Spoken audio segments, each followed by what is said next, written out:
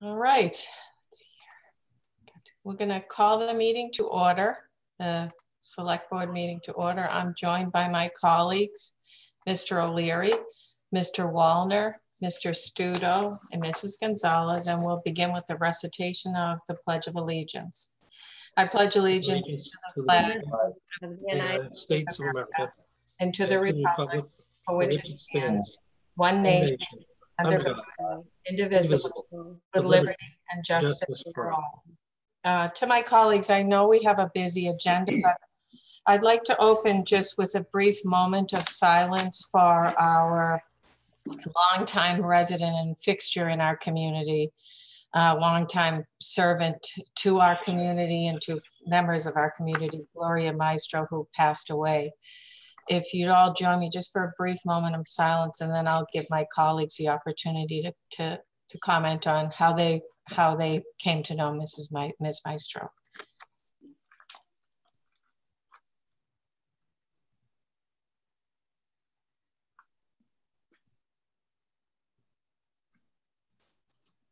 Thank you. Thank um, you. If any of my colleagues would like to give some remarks. Um, how about we start off with you, Mr. O'Leary? Uh, I probably only known Gloria about 55 years. um, you get to go first because you probably have known her the longest. Oh my goodness! I tell you, you know what a uh, what a dynamic individual and contributing member of this uh, community uh, Gloria has been, and I'm saddened to. Uh, and I heard that she wasn't doing well uh, last week or two, uh, but you know, Gloria served in a lot of voluntary capacities for uh, a lot of organizations in the community, um, youth service organizations, uh, senior citizen organizations. She was on the Council on Aging, uh, Friends of the Council on Aging, uh, Historical and Antiquarian Society. She's a member of the Board of Registrars, and I can go on and on and on. Um, but you know, one thing about Gloria was uh, I don't think the, the woman ever slept, so you may she rest in peace. Truly, uh, she was uh, nonstop 24 7, always doing something for somebody else. And um, she was a dear friend of my mother. And again, the two of them, when they got together, it was not a good, not a good thing. You know, they solved all the world's problems together. And, you know, Gloria would sometimes show up at my mother's house at 10 o'clock at night, 10.30, and they'd talk the, the night away till 2 o'clock in the morning until they both fell asleep in the chair. You know, and then all of a sudden, Gloria would get up at 2.30 in the morning and go out and do something else. Mm-hmm. Uh, but uh, Sounds fun. Individual and raised, a, you know, raised a, a large family. Uh, all of them again good members of the community, and some of them still business people here. Um, but, uh, but again, I love Gloria. Uh, she was never shy about uh, expressing her thoughts and beliefs and things. Um, she had my cell phone. She used it often, and I and I enjoyed the calls. I enjoyed the conversation, and I enjoyed uh, Gloria being a, a part of my life and my family's life but also uh, part of the community. So it's going to be sorely missed. Thanks, Mr. O'Leary. Anyone else want to share some comments? I would love to. Mrs. Gonzalez. Yeah. So um, Gloria and I go back to when my my kids were young, and I would help Kathy Lee run the Vacation Bible School at St. Teresa's, and she would come in. It was for a week every summer, and she would be there bright and early ready to work, uh, usually right into the kitchen. She loved to get the snacks ready for the kids at snack time um, and just do whatever we wanted her to do or needed her to do. And she loved being there. And at the end of every week, she would have a gift, a special little gift for each person that was working the Bible school. And um, she would have a reason for each gift, why she picked it out specifically for each person. She was just so thoughtful. Um, and we stayed friends over the years. And when I got on the board, she gave me a list of things that she thought should be done that hadn't been done yet. And and she would she actually just sent me a letter in the mail I got in April, um, just catching up with me and articles that she had um, cut out, you know, of my daughter or whatever that, you know, she thought would interest in me and something that she thought would be a good Christmas present for my husband. And then told me that I hadn't, she hadn't seen anything on her honeydew list done yet and was reminding me. so um, she was just a character. She was a one of a kind, and I, I loved talking to her. She was a, a wealth of knowledge and just um, just a, a lovely lady, and uh, she will be missed. She will be missed by the community. Mm-hmm. Mm-hmm. Anyone else? Mr. Wallner. Um, I, I'll echo what I've just heard from both of them. I've known Gloria for about eight years. Um, she quickly joined the um, uh, the SSAT group, which is part of the CIT, the uh, Social Services Action Team, and she quickly gave me many lessons about how I'm not handling very well.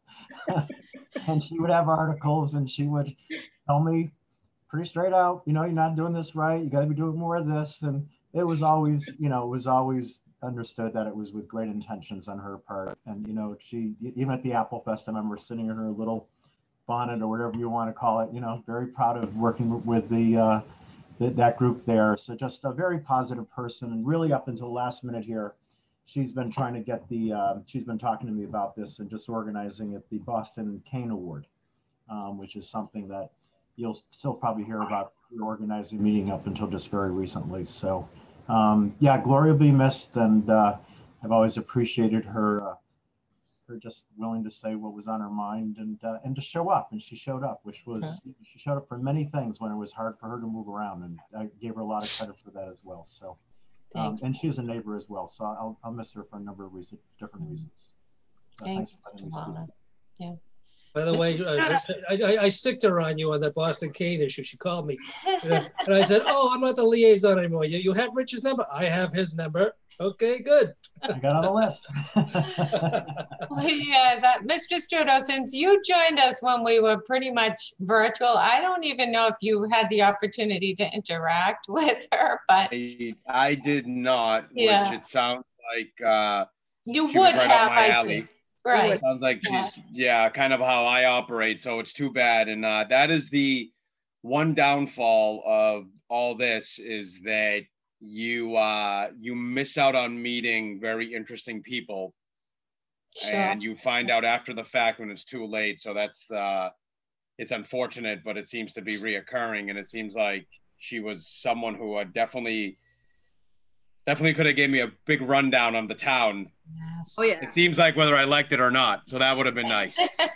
right. Well, I, de- I definitely came to know her from my service to the town on the select board, but prior to that, would uh, read a, of her attending or see her in pictures and attending events because she did go to a lot of things, like Mr. Wallner said, and definitely I would not characterize her as shy about telling us what she wanted us to do and how to do it. However, not in an offensive uh, manner, just a very, always with a smile on her face, pleasant. This is what would be good for the town type of a person. So she will definitely be missed. And we want to share our condolences with her family and let her family know that we're thinking of them and that they're in our thoughts and prayers. Um, and I don't know, Mr. Gilleberto, if you want to bring up the conclusion of these comments, but I'm sure you knew her quite well too. Yes, um, Gloria would um, regularly visit the town hall, sometimes on her way into uh, her SSAT meetings in room 14. Uh, but she would come in for other purposes as well and clearly was um, very dedicated to pushing forward causes that were important to her, even when her physical limitations made it difficult to do so. Um, but probably most importantly for the Gilleberto home is she uh, was a server of cookies um, the Sunday afternoon of the uh, Christmas tree lighting over on the common. And uh, my kids a couple of times had the opportunity to interact with her in the Putnam house for that. So uh, I appreciate that. I'll always remember that at my house. Thank you, Madam Chair. Thank you to my colleagues. Um, all right, so our next order of business is minutes. I, a member has asked that we pass over this because uh, there are some uh, requested modifications to those. So we'll move on to the COVID-19 update and back to you, Mr. Gilleberto, on that. Madam, Madam Chair, if I could, um, I did talk to Mr. Gilleberto earlier, so I, oh, don't, I don't know if he had already adjusted those. Madam Chair, through you and uh, Madam Vice Chair. So I, uh, it wasn't until about seven o'clock on the nose, but I, I did upload revised uh, version. And for the board members, the uh, the, the changes were, um, Mr. Stuto was referred to a number of times as Mr. Vincenzo. Uh, So we've um, used the, the function of um, find and replace to correct that. And then similarly, uh, Mrs. Gonzalez was identified as Mrs. Gonzalez uh, again. Um, I know that that happened in a previous meeting, um, but I'm not sure why that um, carries forward, but it did. Um, but we did correct that as well. So if you look in the meeting folder, um, there were four, there are now five items. One of them is a marked up version of the minutes with those corrections in it. Um, I believe I caught all of them, um, but um, if I've missed one, certainly anyone can correct me. But Mrs. Gonzalez, that was the extent of your concerns, correct? Yes, thank you. Yeah, I, I'm, I'm looking at them now. They're all corrected, although uh, I do have a lot of random clients who call me Mr. Vincenzo, so it wouldn't have been really that big of a deal here, so. I, I, I think if, if yours, at Mrs. Gonzalez, have you had the chance to look at the updated ones? Um, no, I Or- didn't. Okay, so should we, we'll hold on to that till the next meeting until we make sure all those changes are, I haven't looked at them either, but Okay, um, why don't we just wait until you've had the opportunity and well, we can um, consider those for approval at the next meeting. Um, and now, okay, so Mr., I, I also just wanted to note to the board, I didn't see this until now, but John Maestro said to thank everyone. I should have, you know, should have let him speak too, but I'm sorry um, for not doing that, so. I believe Anne is here. Anne Belade. I am. Yeah, Oh, I should have. Gloria's daughter. That's all right. We just, I just want to say thank you too for taking time from your meeting to recognize her. As you know, civic duty was very important to her, so she would have been honored to have you speak on her behalf. Thank you. Thank you. Yeah, yeah, nobody ever spoke on your mother's behalf. Well, this is true, Steve. You're right. Oh, Definitely a special lady, so um, um, these people are gems to our community, Yeah. so it's important, you. definitely important to recognize them. Thank you. Okay. Thank you for sharing her with us. Anne. Thank you. Thank All you. right. Now, Mr. Gilleberto, COVID-19. Thank you, Madam Chair. Um, My my update uh, this evening is uh, limited. Um, I will just note that uh, as we reported on January 6th, uh, we were um, at 700 cases of COVID-19 since the pandemic began here um, in North Reading. 634 residents and 66 patients at or associated with Royal Meadowview Nursing and Rehabilitation Center. Um, At that time, uh, January 6th, the health department was monitoring 151 cases um, 16 cases, including 13 at or associated with Royal Meadowview, and two residents and one suspected case in a town resident uh, were deceased or have been deceased, have deceased. Um, I will note also that at that time, I think the number was, the health department had assisted with the schools in um, responding to 23 staff and 64 student cases of COVID-19 in the public schools. Um, We've also been working in conjunction with the Commonwealth of Massachusetts to investigate a cluster of cases um, at- associated with Reading Gymnastics. Um, Not all of those cases are here in North Reading. There are, of course, a number from throughout the region. Uh, And so we've been working with them for the past couple of weeks um, to resolve that, um, that, that, any uh, outstanding issues associated with that. Um, I will say that, you know, in a, you know, with regard to the data, the overall case numbers continue to increase in the community, uh, but there does continue to be confidence that the public schools are not a significant source of transmission of the virus at this point in time. And uh, as at that moment, last week, there were no plans to alter the current hybrid school operation schedule. Excuse me. One um, final thing that I will note is, um, I I think a sign of um, certainly of hope, which is that beginning tomorrow, um, we will be conducting a first responder vaccination clinic for uh, police officers and firefighters here in North Reading.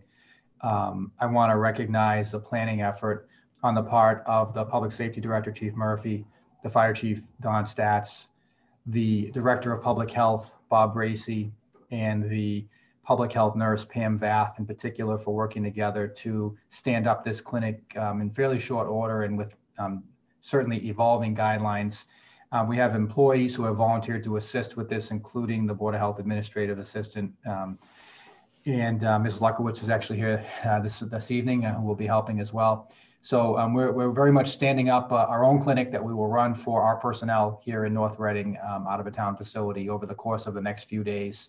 And we're really um, pleased to be able to do that and to make that available to our, um, to our first responders. Um, and I believe that that concludes my comments relative to COVID-19. Great, thank you, Mr. Gilleberto. Oh, um, Madam Chair, I know there was a previous question too at the last meeting. I, I apologize, but uh, regarding the tracking of the uh, cases um, and, and how the cases were, were, um, were classified. So the, the question was when there's an antigen test that tests positive, where does that kind of end up in? And so those numbers, um, they they are reported in the monitoring cases. So that 151 that I just mentioned, we were monitoring. Any number of those could be antigen cases. If an antigen case becomes a negative, it is not reported and recorded into that grand total of 700. So I, I know there was a question about that. I did want to make sure I got back to the board on that issue. Thank you, Mr. Gilleberto. Uh, any questions for Mr. Gilleberto on his update? Uh, Madam Chair, just in, the, in relation to, you know, how are we forecasting um, what role we're going to be asked to play moving forward? I mean, it would appear as though there's a an aggressive uh, idea of trying to move these vaccines out more quickly, which I would anticipate would get forced down to the local level. And I know that we're part of a regional consortium right now. Um, are we still awaiting word from the state as to what the expectations are going to be, or what are we and what are we getting ready for, just in case? Because you know, to me, it, it's definitely going to get forced down to the local level. I, I believe so. They're not going to get them out unless they do. Sure. Any more information on that? I know this came up the last time as well. Any more information on that, Mr. Gilleberto?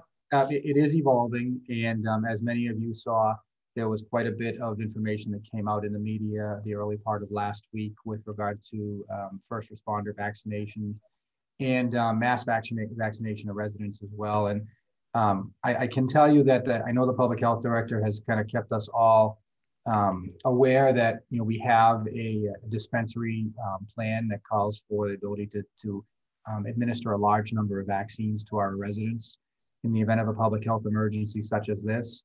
However, um, there is still some work going on at the state level, and um, admittedly, I have not had a COVID uh, meeting with uh, involved folks uh, since Wednesday, so I don't, I, I, may not have the most current information, but we were awaiting further gui guidance with regard to our specific role concerning the general population and the issuance of the, uh, the administration of the vaccine. Um, you know, I think that we're certainly keenly aware of a strategy where we may be doing that, you know, in a, in a, in a large volume here in North Reading. Um, but we've also heard that there are some efforts underway for potential regional uh, vaccination sites as well. Um, and I've heard a, few, you know, fairly large venues that would potentially be able to process large numbers of people. We have not heard really anything more than, uh, to my knowledge, at least, uh, than the public has heard on that planning effort. And then the, the, the third model that I will identify just because I think that it's, um, you know, it's an important one for us to be aware of is, you know, the more, you know, multiple small locations like the testing is being done or smaller locations. I mean, I think that's certainly an avenue that could materialize um, here with regard to um, the vaccines that's being made available to pharmacies, to providers, that they may be isolated stand-up sites. So, know, we, we're aware that that's a model that has been put out for the vaccine. Certainly do not have any information saying that that will be the model for, for uh, sorry, for the testing. That was a model for the testing we don't have specific information that it's a model for the vaccine, but I think that we're all aware that that is another model. Um, so, you know, I, we're very much, you know, we're, we're very much monitoring what's happening uh, in government, in, in, the State Department of Public Health and the CDC, uh, sort of above the town, because that is very much part of the resource how we get to the vaccine. Um, but I think it would be fair to say that we are in, in various levels of preparedness for either of these options to take place. Mr. Gilleberto, I'm assuming that people aren't waiting to attend our meetings to learn about this. When you get this information, I'm, uh, I'm also assuming the State Department of Public Health is working with our Board of Health. And I know Mr. O'Leary will probably have us an update during board reports, but as soon as you're getting this information and are you posting it so that if anyone is actually waiting on us for updates, they'll be able to access that on the town website, right, Mr. Gilleberto? That's correct. The Board of Health put together a, a dedicated page relative to vaccinations, which we put out in our most recent update. And um, I know that they are updating their pages fairly frequently. So yeah, that's correct, Madam Chair.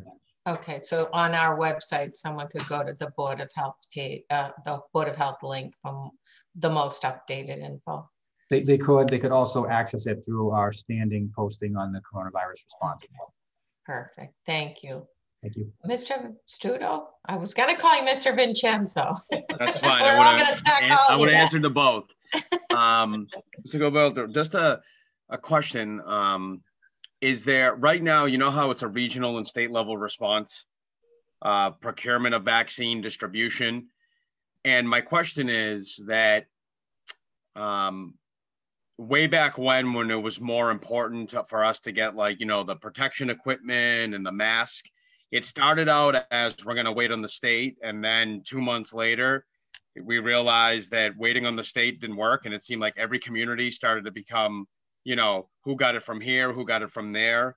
So my question is not that I doubt the, you know, excellent distribution plan that the state is going to put together. However, um, is there any indication you've gotten talking to your peers, even, uh, you know, because right now it's such a sensitive topic, but these are private companies. Is there is there any backup plan that where, if for whatever reason we're way behind and you see other communities maybe attempting it, that North Reading can try to get the vaccine directly as a municipality eh, if if it agrees to follow the state guidelines on distribution? Um, so in terms of the town specifically directly procuring it, I have not heard of discussions of that going on, at least at this stage of the planning effort. Um, I can tell you that, you know, we did, when, when the avenue to sort of regionally access the vaccine became available, we actually followed parallel paths to try to find out which one would work out you know, most expeditiously, and the one that worked out most expeditiously is the one that we went with. Um, I'd be happy to report back, or Mr. O'Leary through his report, uh, if not later than at our next meeting. I'm sure could report back after the upcoming Board of Health meeting on that issue.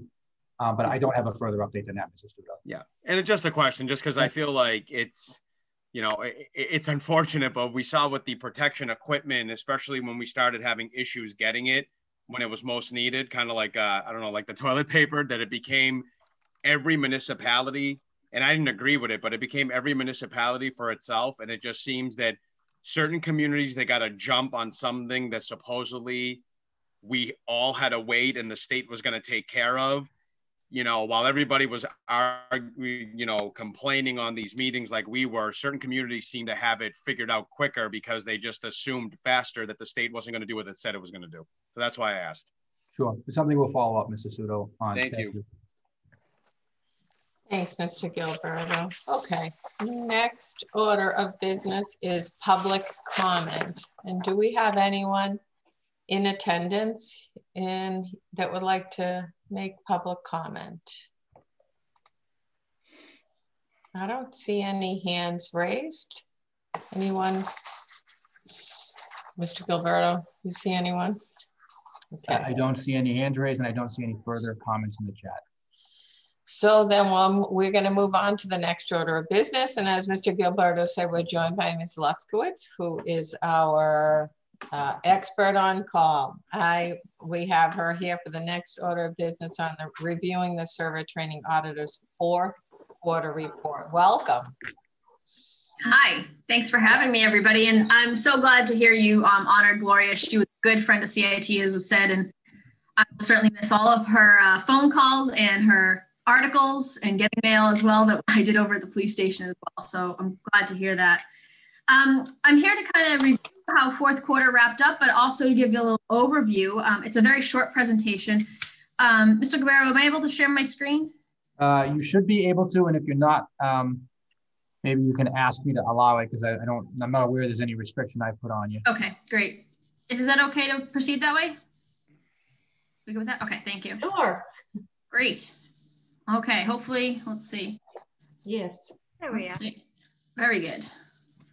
Okay.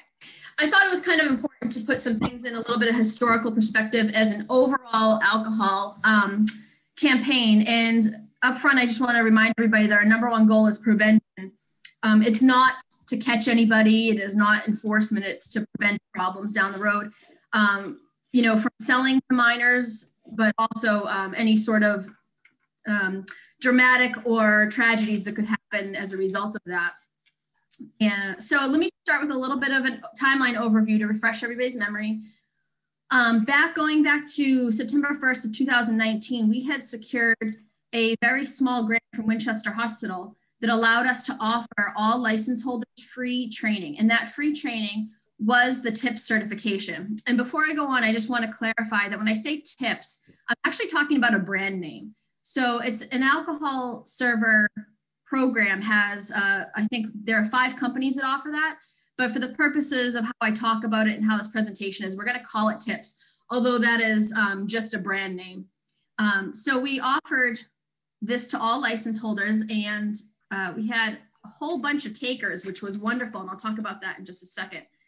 Um, I'm not going to read every bullet point here, but um, I will point out that on December 21st, we had our third um, audit of all licensing for tips. The reason I actually wanted to do four this year, but we skipped the second quarter because of COVID restrictions. Uh, Chief Murphy, rightfully so, didn't think it was smart for me to go and expose um, myself or them to any, you know, kind of reduce our contact there. So we did not do a Q2 audit. We just did three this year. Madam Chair. Oh, Madam Chair, I think you're on mute now. Mr. Gilleberto. Can everybody hear Ms. Lukowitz okay? Only because it my sound seems to yes. be there. She's just, fading. She was fading out. Fading. Okay. Just a little fading. How about I'll try to sit a little closer. I can only see four of you at a time, so if you wave at me, I'll know that you can't hear me, but um, that changes here and there. I can only see four of you at a time. Um, so just moving on a little bit, and I, I know that the select board's intention was always to provide education. So I wanted to give you a little overview of what we did. And as I mentioned back in September of 2019, we offered that free training um, for gift cards to all vendors. And I am happy to tell you that 68 people, 68 individuals took us up on that offer to be reimbursed for their tips card. Um, the expense that was $2,165. And that again came from a small Winchester grant. So some of the education involves me physically going into the, the retailer or the venue, and sometimes it, it involves a memo. Uh, the last memo that I sent out was sent on December 21st, and this was one that I handed to everybody during their audit. And it was basically highlighting that we are in a very high risk time. Um, it was going into the holiday season, it was going into New Year's. I also want to remind everybody that they were not um, exempt from checking IDs just because people were wearing masks? This is a question I get asked all the time. What are we supposed to do? Ask them to take their masks down. And I say, absolutely not. This is why you have your TIPS card. It is so that you are able to use your other skills and your other education to identify fake IDs or underage um, purchase purchases. Um, under no circumstances should they be asking people to remove their masks, of course. We also gave them some advice on um, accepting out of state IDs, and just as a heads up, you know, reminding everybody about DMV delays due to COVID, that people who might have turned 21 might have been delayed in getting their new IDs. I'm going to give you two examples uh, about what some of our programs involved. Um, these both involved youth, and they're my favorite ones. The first one's called Shoulder Tap. And what happens is we have students stand outside of liquor stores and basically, they ask customers who are exiting, or excuse me, entering the liquor store or the retailer to purchase beer for them. If the adult says no, they're handed that green card that says, Thank you for protecting our youth. If somebody were to agree to purchase the, uh, the student alcohol, they get the card that says, Think twice. And by doing that ahead of time, nobody could actually be in violation by buying the liquor. And I am very happy to tell you, we gave out 47 no responses and a whole lot of stern uh, lectures were given to the kids. I was nearby as well as Detective Lucci, and I think twice Detective Lucci had to get out of the car and say, no, no, no, they're with us. This is a project. Um, the, the students were excellent in de-escalating the situation, just to explain that they were working with the police and um, the community impact team to provide education. Uh, but I, I'm happy to tell you that we did not have any adults in North Reading take up that offer to buy them alcohol. Great. Yeah, very happy about that. The second program I'll highlight is called Sticker Shock. Um, this is something that involves retail locations again, but they are volunteers. And we went, we offered this to every retailer in town and said, would you like to partner with us on this? And so I do want to give another shout out to Ryers, Christopher's, Eastgate, One, One Stop and Convenience Plus uh, for partner with us. And how this works is, again, our youth action team went into the venue accompanied by North Reading officers, and they put these brightly colored stickers on very popular brands for youth. Uh, so Bud Light, um, Truly, things like that. And they basically highlight what, what the consequences are for purchasing underage. I'll give an additional shout out to Ryers, who went one step further and asked us for shelf talkers that could be permanent. And uh, last time I was in Ryers, they were still there. So I really appreciate that. And it kind of inspired us to reach out to these vendors this year to see if anybody else wants to do the permanent shelf talkers. And that's something that I'll pay for through the DFC grant. So here is an overview of our results. Um, as I mentioned, Q2, we did have COVID shutdowns. Quarter one, we had a total of six violations. Quarter two, we had three, and last quarter, just a couple weeks ago, we only had two. So that's actually a decrease from earlier in the year of about 66%. Um, so six to two, I'm pretty happy with that. And again, um, what we definitely don't want to see a repeat violation. So that can be a little bit frustrating. We can talk about that if you have more questions, but um, they all know I'm coming. Uh, Mr. Gabarro's office sent out um, just a reminder that I'm doing that at the beginning of the year. And through visiting them so often, uh, I think I've developed some relationships. It's unfortunate that we have violations at all um, because there really is no excuse, especially when I go and do a visit right before licensing because they have to provide you with that information during their licensing. So I want to talk about that in just a second. Um, another strategy related to compliance is operated by North Reading uh, detectives. So this is something that I don't do, the detectives do it. And there's uh, three technical different ways to do that. One is an observation. We had three dates this year. Again, very happy that there were no violations. We had retail undercover, which did have three violations, including one repeat violation. I think that you're all aware of that and have um, a discussion later about that. And the last one is a, um, the other type of un undercover, which is basically to a restaurant. Because of COVID pro, um, prohibitions, we can't do that because basically right now Massachusetts regulations say that if you go in to purchase an alcoholic beverage, you need to also purchase food. We don't want to expose the students to additional contact, so we were not able to do um, restaurant and club undercovers, but typically we would do that or we would coordinate that with the NRPD detectives. So having gone through a whole year of this, um, I do have a couple of recommendations that I would love to chat with you about. And the first is to close that 30 day tips window. Um, currently, the regulations say that if somebody hires somebody, they have 30 days to get their tips certification. But uh, as Chief Murphy always says, we don't allow somebody to drive a car for 30 days without having their license. I think it exposes the venue to an awful large liability. I think it exposes the server to a lot of liability and more importantly to me it's it's concern for um, selling to underage or even overselling. I want to i want to highlight that too that the tips training includes how to prevent over serving adults as well. And that that's something that's important as well.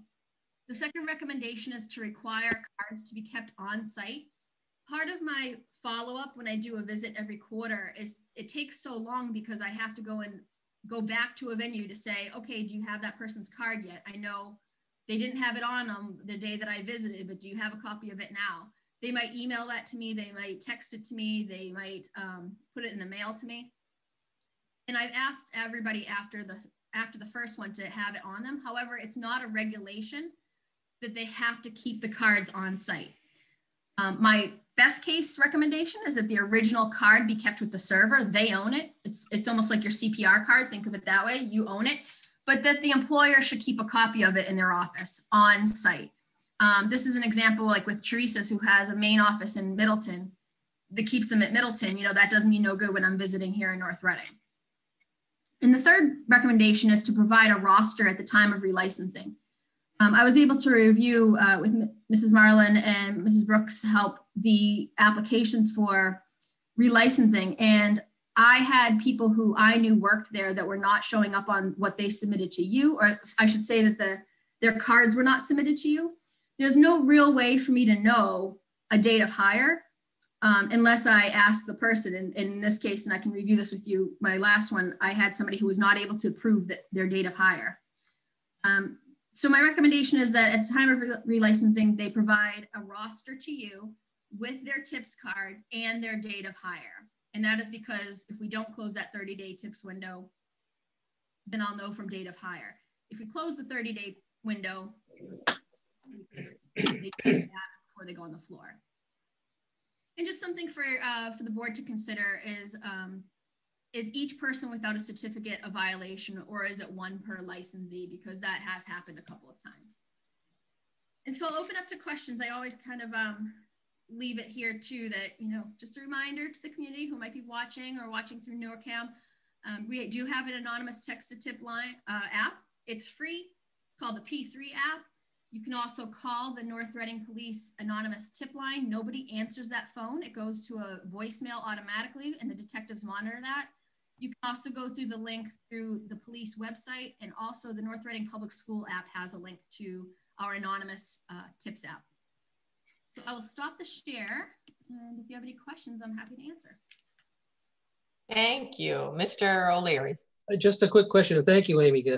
Very informative. But on those recommendations, are those things that uh, we could just implement as far as the uh, relicensing application um, so is this part of our requirements? It, it, wouldn't run in conflict with the ABCC or anybody? No. Oh, uh, um, it, I don't believe it will. And, and I was going to answer for you, but.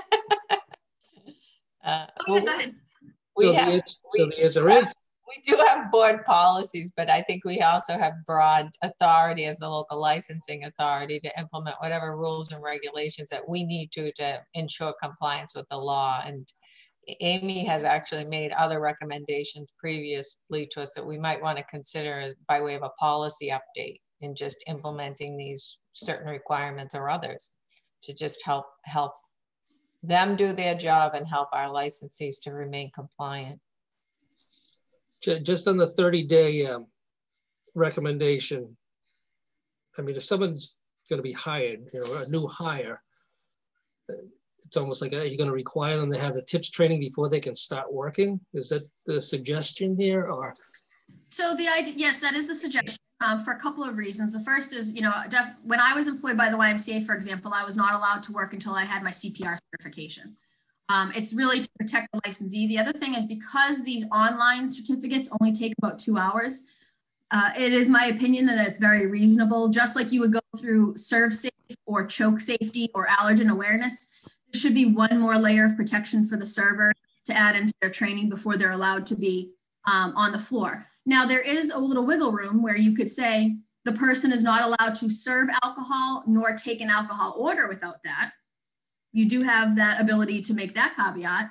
Um, but again, that would take some sort of monitoring to watch if they what, what's going on. Even uh, and when I say serve, I mean just carrying it from the bar to the table would be considered serving it. So you do have a little wiggle room there to decide that, but I, in my opinion, it's just like uh, making sure everybody has their choke safe allergen awareness, that sort of thing. I mean, that was my my my next question. You sort of answered it. Is you know how detailed is it to, to get the certification? You said a couple of hours? Uh, no more than two hours. All right, so that's, that's not unreasonable. Okay. Thank you. And the cost is about, what the, I can tell you the online uh, tips class is $40. I'm gonna ask you that, thank you. Any other questions? And that's something. Yeah, just what about the availability of training and trainers though? Oh, sorry, say that again? No, you said the training, is that just online training, but is there also in-house training that takes place? Not in addition to, it would be either or. Either or. Mm -hmm. All right. So, so if an establishment decides that it's it's it's better training to have in-house, face-to-face trainer to trainer rather than online answer the questions until you get it right. Uh, Their discretion. So that that might be a little bit more of a an obstacle as far as the 30 day requirement. Um, I can tell you that Kitty's is a really good example of that. They pay for a trainer to come in and take care of all of their staff in one. But let's say you have somebody mid-year or well after that, then the online option might be better for them. Um, I've taken both classes because I wanted the experience of which one was better. There are pros and cons of each of the each one of those. Um, what I like about the in-person training is that you can ask real life kind of scenario questions to a trainer and say, you know, I've had this come up before in the past. How would you have handled that? You don't get that back and forth in an online training. Um, what I do like about an online training is I find it to be extremely thorough. It covered a lot of detail.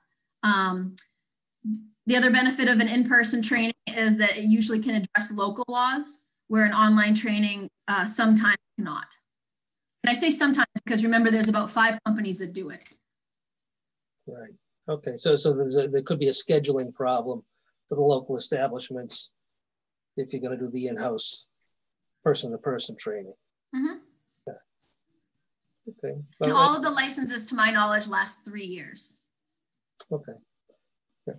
Okay. Just something to consider. You know, if if the owner of the establishment thinks the face-to-face is a better idea, then if we impose the they can't work within that 30 days, that might present a, a problem. That's all. Mm-hmm. Okay.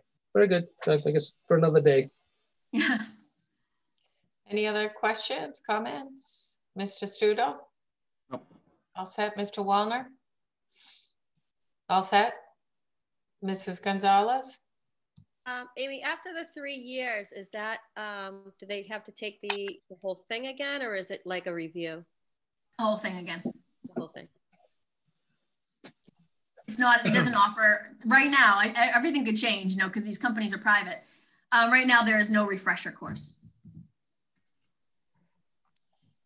All set, Mrs. Gonzalez? Yes, I am. Thank you. I just wanted to thank you for all the good work that you're doing and all the detail that you're providing us. And also appreciate that every time you do come and talk to us, you're not just giving us a presentation, you're giving us some suggestions as the other person in the field that we rely on to tell us what might be helpful to us. So I appreciate that as well. Thank you. If you're looking for some language related to any of these, you know, I would love to participate in that, um, especially this 30 day window.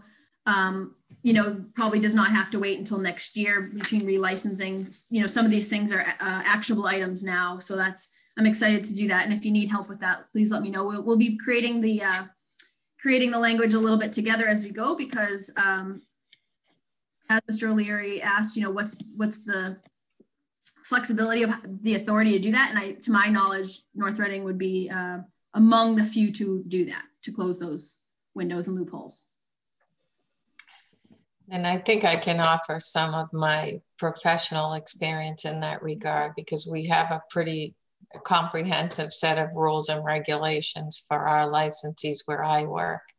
And um, we, we also have specific regulations relating to all, but also to retail and restaurant. And I that one of the distinctions I see here that you've raised to us is that we put the burden upon the licensee to produce and provide that information. So for example, when a new hire is made, it's at that point that the establishment has to fill out and file with the licensing board an employee uh, a, a, form and a new new hire form with with the board so that when anyone is going in there, they're going to know who they're talking to. It's the same with the tip certification. It's just a requirement that anyone in that establishment that's doing sales and service must be tip certified at the time mm-hmm. that they're hired. So because of this, the availability of the training, anyone can take it at any time. We can take it if we want to and mm-hmm. become tip mm-hmm. certified.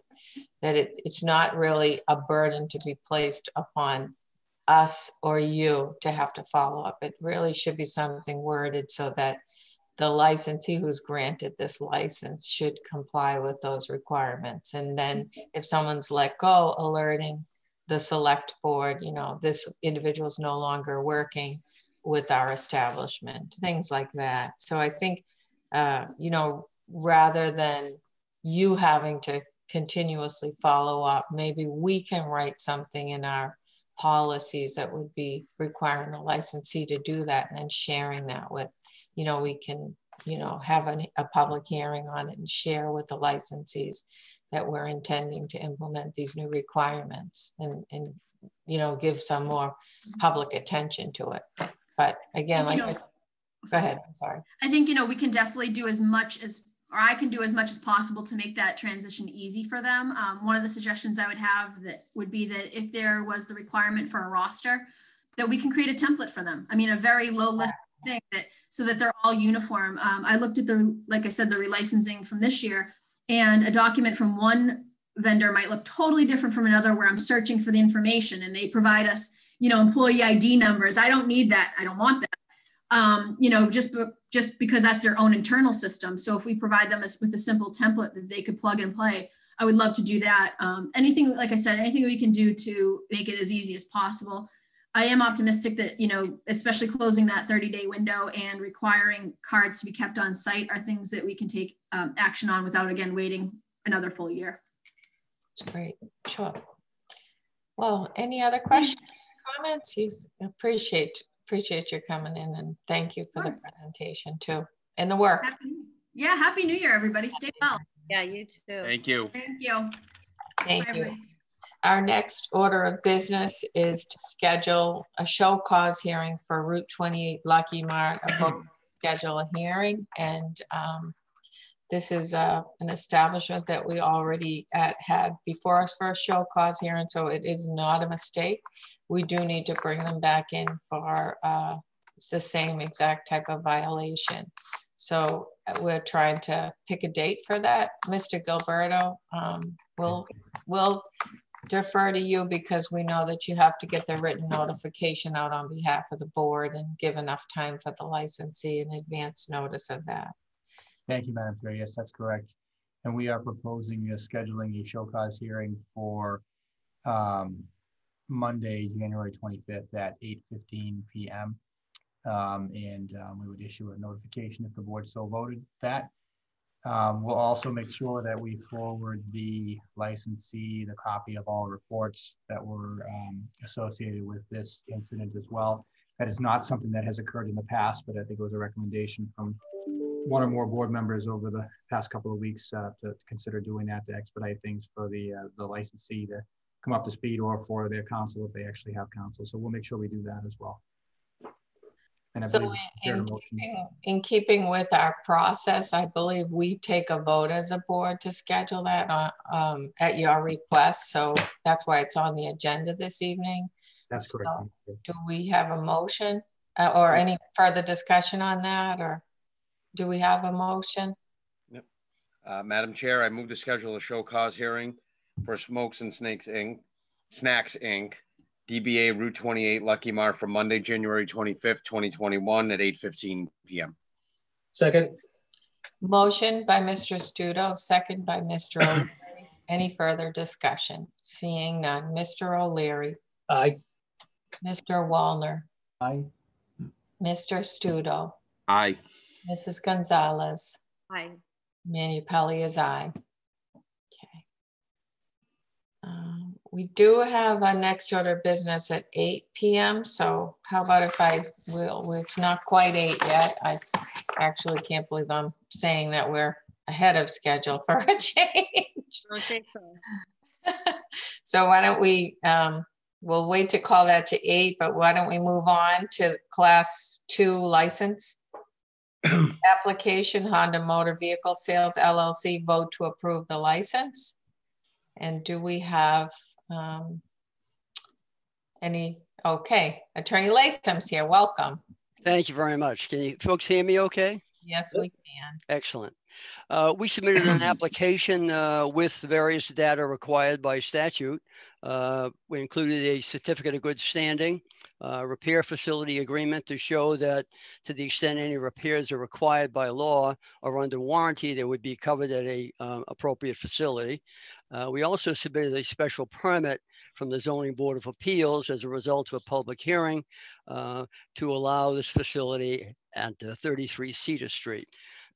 Um, We did uh, attach to the application uh, an explanation of the nature of this use because this it's the way of the future, but it's different from the past. And that is that the uh, this business really is conducted by way of auction, uh, internet auction, or at remote auction facilities. Uh, there be no used cars displayed or sold in the town of North Reading. Uh, the office, however, is located in North Reading. Uh, and I've described in the application the two ways this works. Uh, either the applicant has a direct relationship with a particular individual and goes out and acquires a vehicle for that individual at an auction, and then either delivers the vehicle to the buyer or the buyer picks it up at the auction house himself. Uh, the alternative approach uh, is a uh, is a, a situation where the client purchases for investment purposes for resale. Uh, and what that, what happened there is it'd be purchased on day one and could be resold at the same auction house that afternoon, or maybe shipped to a different auction house and resold. Uh, the applicant does have a relationship with Lyft and Uber. And uh, of course, as we know, Uber drivers put a lot of mileage on their car. As a consequence, they're, they're customers looking for good secondhand vehicles uh, at affordable prices. So as a consequence of that, that's a service that the applicant intends to provide uh, as part of this if he obtains the license itself. And that pretty much is an overview, uh, Madam Chair. More than happy to answer any questions. I think uh, Omar is here. I can't tell from uh, looking at the phone numbers. So, uh, Madam Chair, just for the record. Yes, Mr. Mr. O'Leary. I have a family member who uh, holds a class two license in the town of North Reading, so I will not be participating in the discussion, um, voting on it, so I will be abstaining, and I, I'm actually going to sign off. Mr. O'Leary, I apologize for not letting you do that in advance. Mr. O'Leary always does that at the outset of these hearings. But do the members have any questions for Attorney Latham? I guess I would just ask, I, I don't, I'm, I'm not very familiar with this business model at all. Is the business model you describe fairly routine practice across the United, uh, across Massachusetts, or is it uh, something novel? And though it's actually nationwide at this point, it, it is relatively new in the sense of uh, sale of used motor vehicles, but it's a growing business. I think it's existed probably for a year or more, but it's getting more common. Uh, in fact, the Commonwealth uh, is now participating as well. Uh, and there are some co national companies that do nothing but online auctions. Okay, thank you. Any other questions? Mrs. Gonzalez, are you all set? I am. Mr. Stuto, are you all set? I'm all set. I just have a couple. Oh, all right, Mr. Gilbert. I had a couple of questions to Mr. Gilleberto. Well, I'm sorry, I did not have any questions. I did want to respond to a couple things that came up from the board members' comments. So um, I can wait till the end, though, if you'd like, Madam Chair. Okay. I just wanted to have a couple of questions to Attorney Latham. Is this a zero storage license? It's a class two uh, license uh, under the statute. I'm not sure I understand the question. Uh, there'd be no vehicles on site. So for how many vehicles would this be as he is your client seeking? Uh, perhaps if he's here, he could respond to that particularly. I think it's, it's in and out, so it's not a large number. I don't see him uh, appearing. Yeah. I believe he just signed in. Attorney. Okay, thank you. I think I only saw a couple of this, but I didn't see anything uh, specific to that. So uh, that's why I wanted to take the opportunity to ask on this here so that I could understand. It's by auction, so it's basically being bought at the auction and then transported to the particular individual. That's how I understood your paperwork. That's absolutely correct. There's no inventory really level that's maintained. So in other words, it's not going to be, you know, buying seven vehicles at auction, putting them on a lot with for sale signs on the on the road at the business. Absolutely not. So is this um, is your client in this business in any other community? No. Was your client in this business in any other community? To my knowledge, this is the first time that he's applied for a license for a class two dealer's license? Yes, I believe the police department's done a search. I don't know if they check uh, that sort of historical use, but I'm not aware of any prior history of this. I think this is his first effort. He's been in the uh, motor vehicle business, but not in this capacity. So, but ha- there's, you're not aware and he hasn't lost his class two dealer's license in any other community? He has not, he's uh, sworn to that in this affidavit, his application. Okay. And my other question to, um, my other question on this packet too has to do with, um, the, the, um, so- sorry, I'm scrolling back up to, I'm sorry.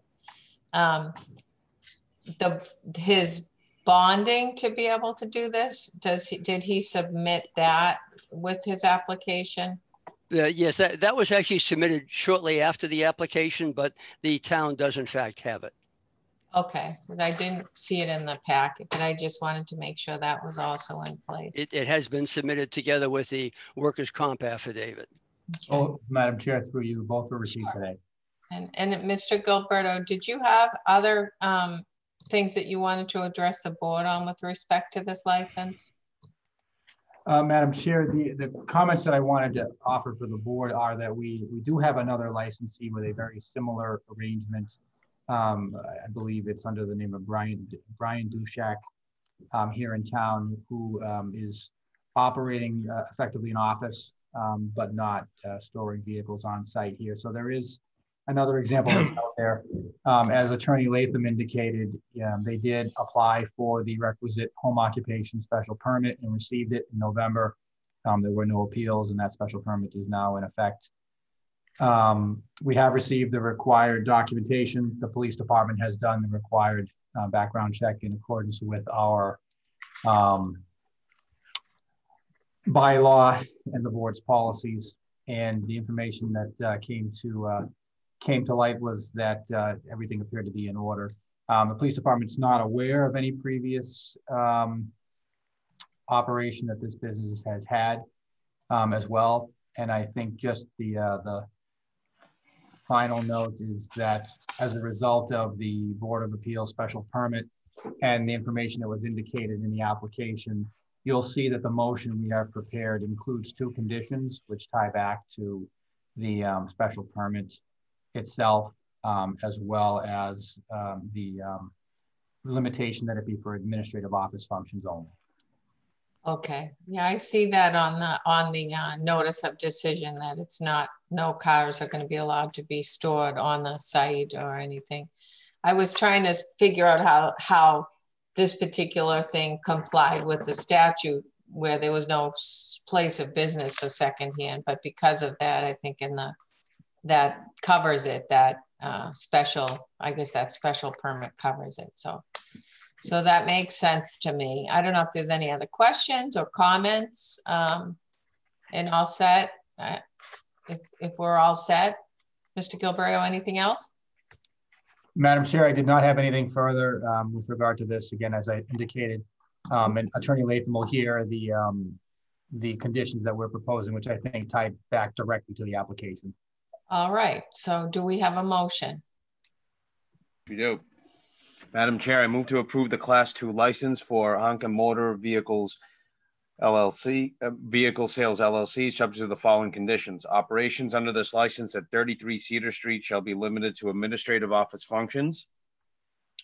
Licensee shall follow all conditions of the special permit issued by the Zoning Board of Appeals dated November 5th, 2020, and filed with the town clerk November 17, 2020. I have a motion by Mr. Stuto. Do I have a second? Second? Motion by Mr. Stuto, second by Mr. Wallner. Any further discussion? Seeing none. Mr. Stuto, Aye.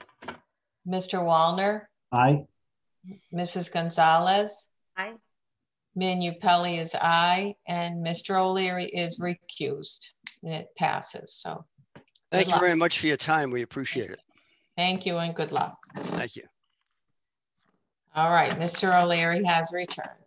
And we're going to move on to the next order of business, which is an uh, eight o'clock nuisance or dangerous dog hearing, April 18 Maple Road. Mr. Gilleberto. Thank you, Madam Chair. Uh, In the um, early part of December, the town was provided a formal request for a hearing um, with regard to dangerous dogs located at 18 Maple Road. Um, and this was a result of uh, a few incidents that occurred um, in November of 2020 or thereabouts. Um, as uh, some may know, the town does have a bylaw which requires a follow-up investigation, which the animal control officer conducted in the month of December. Um, there was a report that was generated um, to me um, on, I believe, December 21st, provided to the select board, and this hearing was scheduled uh, in accordance with that report. Um, and you know, you'll see in the report, which I believe um, both the owner of the dog and uh, there was a representative of, I think, the, some of the impacted residents who uh, we provided a copy to as well. And um, I see a number of residents in the neighborhood that have come on here this evening. So uh, clearly information has been circulated with regard to this, which was the intent in circulating that information back to the um, original resident who stepped forward. Um, and so you have before you a, um, a formal report of the animal control officer, as well as a series of recommendations with regard to this dog, these dogs, excuse me. The dogs are currently under a uh, temporary order that was issued by the animal control officer um, almost two weeks ago um, with regard to um, a, a, muzzle order on the uh, on the animals anytime they are outside of the uh, the homes. Subsequent to this, uh, sometime maybe a week or so after we issued the hearing notice, we did request, as I think the board members are aware, we did receive, excuse me, as the board members are aware, are, are, are, are aware, a request from the the attorney for the dog owner requesting a continuance of this hearing um, to a future date um, so that he could attend. And so I believe that you have that request in your packet um, from the attorney. The discussions that we've had with the attorney are such that um, no such request would be brought forward unless there was an agreement on the part of the uh, dog owner and the attorney that the temporary order of the animal control officer that the dog be muzzled um, would be in effect uh, until the date of any continued hearing. Um, and so, Madam Chair, I think you are aware we were hoping that we would receive something in writing from the owner of the dog um, himself in time for the meeting this evening. We did not receive that, and sometime I think around six o'clock or so this evening, we did receive communication from Town counsel that Town counsel had been in touch with Counsel for the uh, dog owner, indicating that they were that he was committed to following um, the temporary order of the animal control officer, not just through its expiration, but until the date of the continued hearing, if it were to be continued. And so, Madam Chair, as you know, that's, I think, where we stand at this point. If I've missed anything, certainly feel free to add anything further. Well, I, I understand that there has been some back and forth, um, but this public hearing was scheduled and in the packet, there are at least 13 residents who have noted their concerns. So given that this has been scheduled and the dog owner was aware of it, I think it was really incumbent upon the owners to put in writing to the board that they would agree to comply with those terms and conditions in seeking the continuance, at least until, you know, we could have this full hearing. And because that didn't happen, that's why it's being called, um, you know, this evening. So we needed something in writing co confirming from the owner of this dog the compliance. So while we do give great leeway to the requests of counsel on behalf of, um, you know, individuals that are appearing before us, we do need something in writing confirming that. This is a safety matter that we don't just have one complaint, we have at least 13 complainants here. So um, that my thought would be that we move forward with the hearing uh, because we don't have anything in writing with the owner. So I'll defer to my colleagues on your thought on that, but it has been scheduled and we'll, I guess I'll, I'll just, uh, you know, quickly elicit response from the members if they would like to move forward on this to this evening. Mr. O'Leary? I mean, generally, I mean, I'd like to know that they're in compliance with, with what the dog officer and the animal control officer has asked them to, to do. Um, and I had hoped, because the town administrator informed me a couple of days ago, you know, that there was a request to um, postpone the hearing, to a future date so long as we had written compliance. So we didn't get that. That's of concern. So again, Mr. Gilleberto, there was no other follow-up with the attorney? Uh, There was a email correspondent, my understanding is there was an email correspondence from town counsel to the attorney for the dog owner. And that that, uh, I believe, was followed up with a telephone conversation late this afternoon where there was every indication that we would receive something, um, but I think Madam Chair indicated that that would not be received until tomorrow. And, you know, I did, re- I did relay to, um, to town counsel that, you know, because of the safety issues at, at stake here, that it was imperative that we have something, um, you know, in writing here in advance of the hearing. So moving forward, Mr. O'Leary. I would say we have to, we- we should, prerogative, we Yeah, move forward and then we can decide after what we hear, or whether we want to continue it, you know, to the next meeting. To, is, because the owner of the dog not here? Mr. Guy? The dog. Put your hand No, I'm not the owner. Which, oh. what are you referring to? The owner of the, the, the attacking dogs?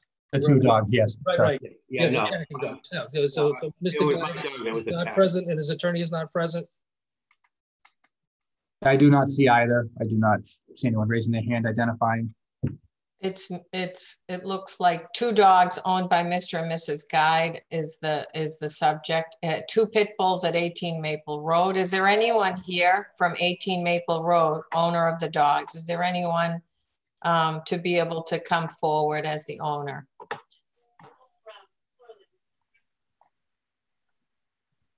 So I don't, I don't even think they're joining us this evening for the meeting. So that's also a pretty significant red flag for me. Uh, Mr. Wallner, let's hear your preference. Do you want to move forward with this or Yes, I, I consider this an urgent matter. I think we need to move forward tonight. Mrs. Gonzalez? I agree. This is a public safety matter and I think we should move forward. All right, Mr. Stuto, are you in agreement with that? You'd be in the minority at this point if you weren't, so. No, I, I, I am. I mean, I have a dog and I would have at least, uh, showed up, not, you know, not the assumed, uh, close by the attorney saying, if I don't hear from you by January 8th, we're just not going to show up because we think everything's good. Yeah. You know, not, I don't know about that letter.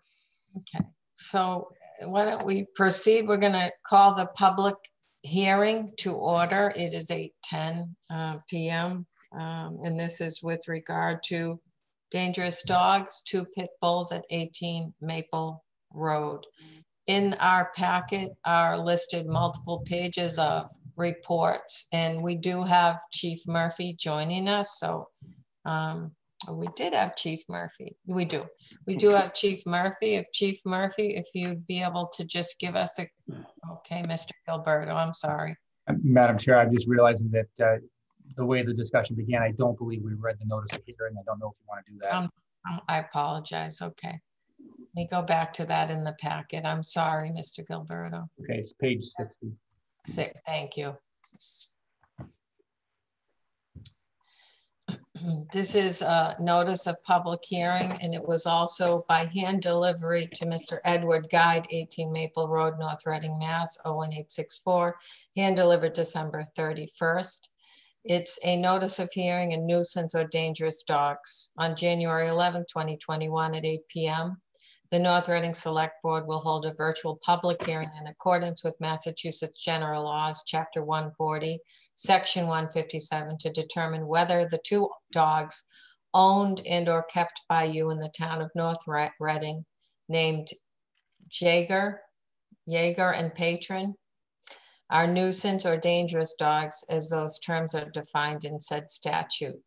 This notice is based on multiple written complaints of said dogs routinely running at large, trespassing on private property, and attacking or attempting to attack other dogs and injuring a person while off the property at 18 Maple Road.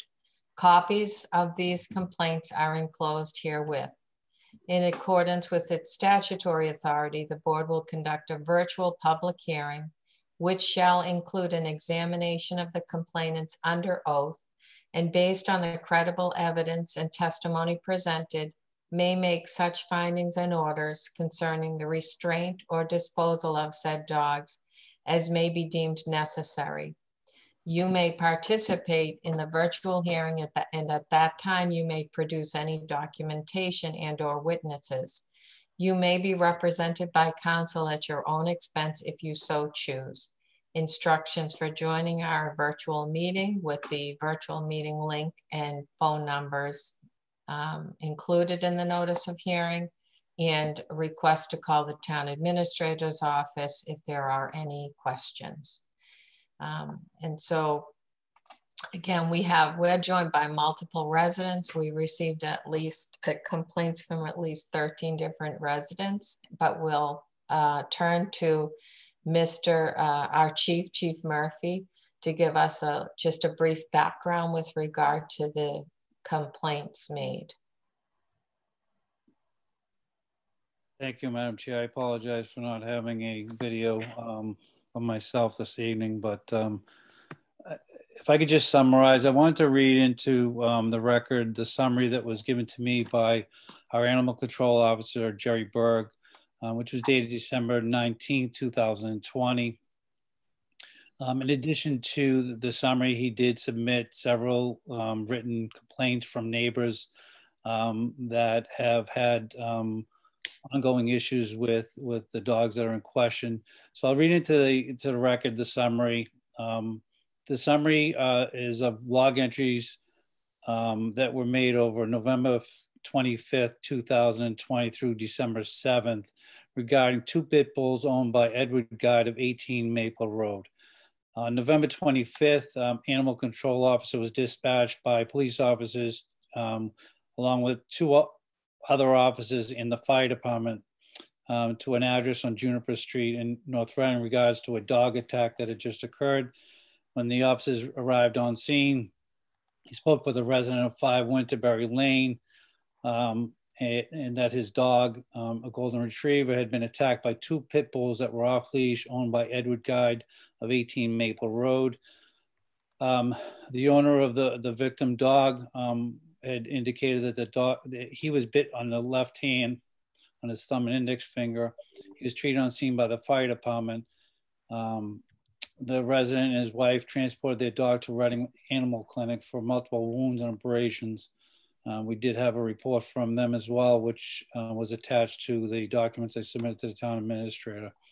Uh, there were two witnesses, um, two additional witnesses um, and their voluntary statements were, were attached and submitted as well. Uh, we also submitted photographs of the dog's injuries um, in our summary to the town administrator. On November 25th at approximately 10:30 a.m., the animal control officer went to 18 Maple Road and spoke with the owner of the two dogs, Edward Guide, about um, the dog bite. Um, and um, as a result, of, the, of that conversation, Mr. Guided said that both of his dogs um, were, were, in fact involved and the animal control officer ordered that they be quarantined for 10 days. Mr. Guy was given a citation in hand for um, having um, unleashed dogs, unlicensed dogs, and unvaccinated against rabies on both, both of his dogs.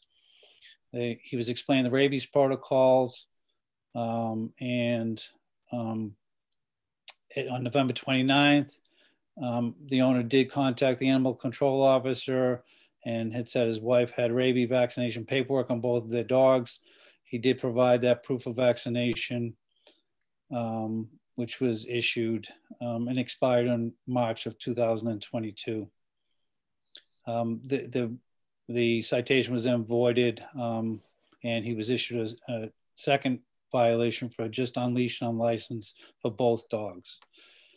On December 2nd, he followed up um, again from a call that happened on December 1st. Uh, this is in regards to the two pit bulls again from Mr. Guide's 18 Maple Road, that the dogs were running loose on the neighbor's back porch at 21 Maple Road. A police officer had to respond to the call as well. Um, and um, Mr. Guy was told that he was in violation of the previously issued quarantine and leash law violations. Um, he went to speak with Mr. Guide again. um, and spoke to him about the quarantine order and the violation. He issued a, a second citation in hand uh, for a subsequent leash law violation um, because of the dogs being off leash on December 1st, um, 2020 at approximately 7.30 in the evening. At that point, um, the animal control officer had ordered Mr. Guy to muzzle his dogs for the rest of the quarantine and informed him that the state would be notified due to the quarantine violation, which they were.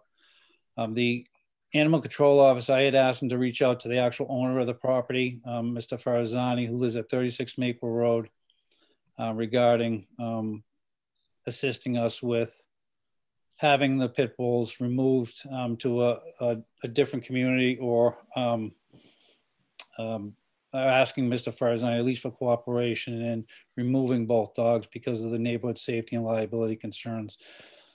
At the time, Mr. Farzani said he would speak to the owner of the dogs um, and demand that the dogs were removed from the property. On December 7th, the animal control officer went back, spoke to Mr. Guide. Um, both of the dogs at that point looked um, fine to him, and the quarantine order uh, was released. Um, I had conversations with the animal control officer, and I had uh, asked that Mr. Guide, um, we urged that he have the dogs removed from his home. Um, originally, Mr. Guide was in agreement, and at some point, um, he said he was not cooperating with us anymore. And um, as a result of the numerous complaints from the neighbors, the dog bites, um, the lack of cooperation from Mr. Guide, um, the animal, I had ordered the animal control officer to um, write a report, request a hearing in front of the select board to have the dogs um, uh, at least have all the information presented to you so that you can make a decision on um, the next course of action with the two dogs. Do, do the members have any questions of Chief Murphy? Mr. O'Leary. Uh, so Chief, what are our options? I, I, I understand that the laws have changed where we can't just, you know, shoot them to another community and move the problem somewhere else. But, you know, so what are our options? Um, so you have several options. I, I can read you what the um, what the bylaw says. Okay, options, options, and then do you have a recommendation? We do have a recommendation. Um, so what would you like to hear first? Let's hear what the let's hear what our ability to act is and what the standard is under the bylaw, please. And then I do also think um, there was some pretty specific recommendations made by the animal control officer. It's on page 64 in our packet. But before we get to that point, we also have to hear there's multiple complainants that have joined us and we'd like to take their, you know, testimony in, in this hearing as well. So if you can tell us, Chief Murphy, what the standard is that we're supposed to be looking at and what our ability to act is like Mr. O'Leary is acting under the bylaw, that would be appreciated. Sure. So um, under the North Reading bylaw 23-7, restraint or muzzling, um, there are several um, reasons why um, the animal control officer can um, issue an interim order to restrain or muzzle, which is not to exceed 14 days um, which he has done that. And section B of, of that, um, the bylaw says upon restraining or muzzling or issuing an interim order to restrain or muzzle, the animal control officer shall submit in writing to the selectman a report of his actions and the reasons therefore. Upon receipt of such report, the selectman may make such order concerning the restraint, muzzling, or disposal of such dog as may be deemed necessary. If the selectman failed to act upon the report during the period the dog is restrained or muzzled, upon expiration of the period, the interim order is automatically vacated. And on page 64 of our packet, there is a, a December 31st muzzle order from officer, the animal control officer. And he also actually makes recommendations such as ordering both dogs to be confined. Is this the guide hearing? Is this the hearing on guide? Yes. Okay, this was that? continued to February 8th. This is Attorney Jeremy Cohen with Boston Dog Lawyers. I represent Mr. Guide. I have on it, I have me, from your attorney. uh, Excuse me, Attorney Cohen, Yes, uh, we, where we opened the public hearing Why? because we, we did not have uh, documentation from the owner agreeing to the conditions that were placed. So we That's did not true. That is not true. This is it. This is an un- unlawful hearing. You have it. I spoke to your attorney tonight. We guaranteed it. He wanted it in his office tomorrow morning. How dare you hold this hearing tonight after you told me February 8th? There was no, there was nothing told to me to put this in writing. I'm doing it as a courtesy to the lawyer who reached out to me at about six o'clock tonight. This, you, you must shut this hearing down right now. You, you Attorney it. Cohen, Attorney Cohen, we have opened the hearing. No, you need to close it. Well, you're doing the wrong thing. Attorney Cohen, we have opened this hearing. We have considered this to be a dangerous, dangerous Oh, You, circumstance. you don't know what dangerous is. You're breaking the law right now. Excuse me, Attorney Cohen. You're we dangerous. wanted some confirmation from your client that your client would be agreeable in writing to complying with the conditions until the. It never said writing. It never said writing. I'm, I'm gonna actually have the, have the town administrator, you, you, if you cannot respect the decorum of this forum. We're Decorum? in the midst of a public hearing. You need to close it. Written confirmation, because this is an, this is a serious public safety concern, and we've got multiple individuals attending this public hearing. What you're doing is a serious get- public safety violation. Attorney Cohen, please do not interrupt. But We'll, we be can hear from you to present your client's case. You are here No, and I'm not here. else. I'm leaving the hearing. Every one of you, I can't believe you did this. Your lawyer, Brian Riley, I have it in writing. This is not supposed to happen. You, I don't know why you're not listening to me, but why don't you call your lawyer before you continue to hold an unlawful hearing? I, this is unbelievable. I'll send you everything right now. This is this North Reading? Because I heard, I heard what North Reading is going to be like, and now I'm seeing it. I have it right here that you continued the hearing. This is dangerous for everybody in the town because you gave. You, I have it in writing that you continued the hearing. You violated my client's due process rights. Attorney What are you going to do about that right now? Attorney Cohen. You got to shut this hearing down. Position, it might. You got to close it. No, you must shut this hearing down. you to stop interrupting me and get to your client and make sure your client in writing agrees to comply. I'm, I'm on, I'm on. right here. Please I'm do on not, ma'am, ma'am, we're having a public hearing. Mr. And Gilbert, I'm the no public. unmuting, Wait a second. and we can invite people to participate as they're identified and called forward. We have multiple people that want to participate. Attorney Cohen, it might be behoove you to get to your client. We don't have anything in writing from your client. We have multiple people who are notified to be here for this public hearing. So That's not my problem. I was that- notified to not be here. that- if So my client is on the line make right now. She's right Cohen, there. She's Attorney- right Well, there. that's what She's North Reading does. Okay, then if you and your client are here, we will hear from you in due course. We're in No, the get off the of line. We're out. Yep. This is an unlawful hearing. How dare you? I, I will be in court this week against all of you. I have it in writing. So I was told North Reading was going to be like this, uh, because you don't like my client. This is, this is unreal. I- I don't know your. I have it in writing. Who, and who are you? And Why aren't you speaking up, Mr. Gilleberto? You, you were involved in all this.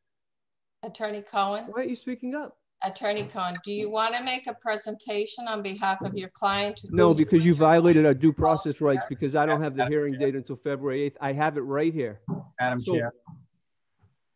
Yes, Mr. Gilleberto. Thank you, Madam Chair. Uh, Attorney Cohen, there was a discussion that took place between Attorney Riley and yourself regarding this hearing being continued upon the town receiving confirmation that the guides would follow the interim order not only for the 14-day period, but through until the rescheduled date. It's not true. And That- then there was a follow-up request, sir, I'm, I'm speaking. There was a follow-up request that was made to you on Thursday asking for it in writing or electronically from your client. No, it wasn't. It wasn't received. Attorney Riley, I'm told, followed up at least once, if not twice today with you to obtain that so that we would have that information prior to the start of the hearing. Liar, And at the moment, I still do not have that information. Call your lawyer. Is that incorrect? I spoke to him two hours ago. He said, I'll just get it to me tomorrow. I said, I'll have it for you tomorrow morning if you want. He's like, oh, that, that soon? That's great. You, you're playing in an area that you shouldn't be because you relied on your lawyer to communicate with me, right? And we did that. There's nothing, I spoke to him uh, two hours ago. He moved it to June 20, January 25th, and then they moved it to February 8th. We have a valid defense, and I'm, it, but we moved this. He already, I already confirmed that he was um, complying. I've been asked twice myself to confirm verbally that I would confirm with him. And I said to Brian Riley, sure, I'll call him right now. Just got off the phone with him. He's like, great. Want anything in writing? Cohen? Email me. Attorney Cohen, I think, I think we're gonna continue with the hearing. If you Okay, I'm leaving. You want You, to no, we'll just, we'll just appeal it. This will take, I will make this put take in three writing years. from your client and confirm, then the board will consider continuing the hearing. We would have to take a vote to continue that. Okay. However, we, we've opened the hearing. We're going to proceed with the hearing. If you want to work on putting something in writing by your client that you can transmit electronically, otherwise we're proceeding with the She's right hearing. there. Take her, put her under oath. She's right there. She's in this, Oh. she's six boxes down and three, Yeah. three down and three to the right. They, Put her they under don't oath care though. and have her comply. She'll, she'll do it right in front of everybody. Instead of emailing two people, we can just tell everybody right here with their right hand up. I'm not sure that you're hearing what I'm saying, Attorney Cohen. No, you're not hearing So what I'm saying. going to Logically, she's right there. We're She's going right to there. proceed with the hearing. She's We're right going there. to take the testimony of individuals that have appeared. You Well, can. that's illegal. My, Okay, my you know what? too. This is North Reading. You're not dealing with Boston dog lawyers. Little North Reading is dealing with Boston dog lawyers.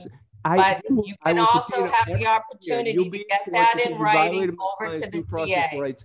You're Mr. making stuff up, Mr. Gilleberto, because that, Mr. Gil, thank you, Mr. Gilleberto. Okay. Um, sorry, Mr. Chief Murphy, I think you were all finished with your comments and I believe I was in the middle of reviewing what recommendations were made. So I'm gonna go through that again and then we're gonna proceed with testimony from the complainants who are here. The recommendations from the um, dog officer include the following. Ordering both dogs to be confined to the owner's premises. Both dogs to be humanely restrained to an inanimate object when outside. When either dog is removed from the premises, they shall be muzzled and restrained with a tethering device with a minimum tensile strength of 300 pounds and not to exceed three feet in length in that the guides who are the owners maintain at least $100,000 in liability insurance. And as we know, if these attempts fail, the other recommendation that was made to the select board was to order the dogs, both dogs to be euthanized, with which the officer concurred. So Chief Murphy, before we take the testimony of the individual complainants who are present, what, do you have anything else that you want us to consider? No, Madam Chair. Okay, thank you. And Mr. Gilleberto, am I missing anything in terms of the documentation that was presented to the owners as well as us in the packet? I don't believe so. I believe you've identified all of them, Madam Chair. Okay. So we have at least 13 complainants whose complaints were provided to the owner. So I would invite um, any of you that wish to speak to come forward. We do have your written statements, but I do see many of you are in attendance. If you would just raise your hand, um, Mr. Gilleberto will, um, will be able to, to unmute you to participate.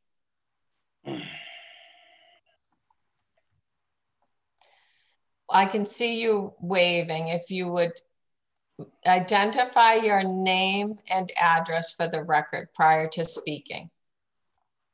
My name is uh, Daniel Coveney. I live at 5 Winterberry Lane, North Reading. And Mr. Coveney, you are actually the individual that wrote the initial complaint that was bit by one of the two dogs, correct?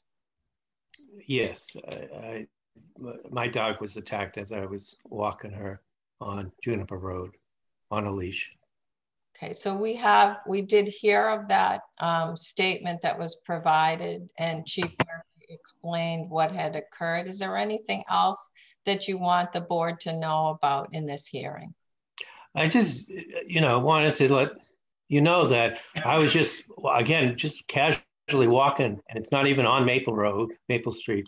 And the dogs, the first one of them came and just simply came upon her and right for her neck, bit her. And then the second one started doing the same thing. And, you know, uh, me, I couldn't even get them off the dog, my dog. Uh, I was on the ground with them, wrestling them, uh, you know, trying to get them off.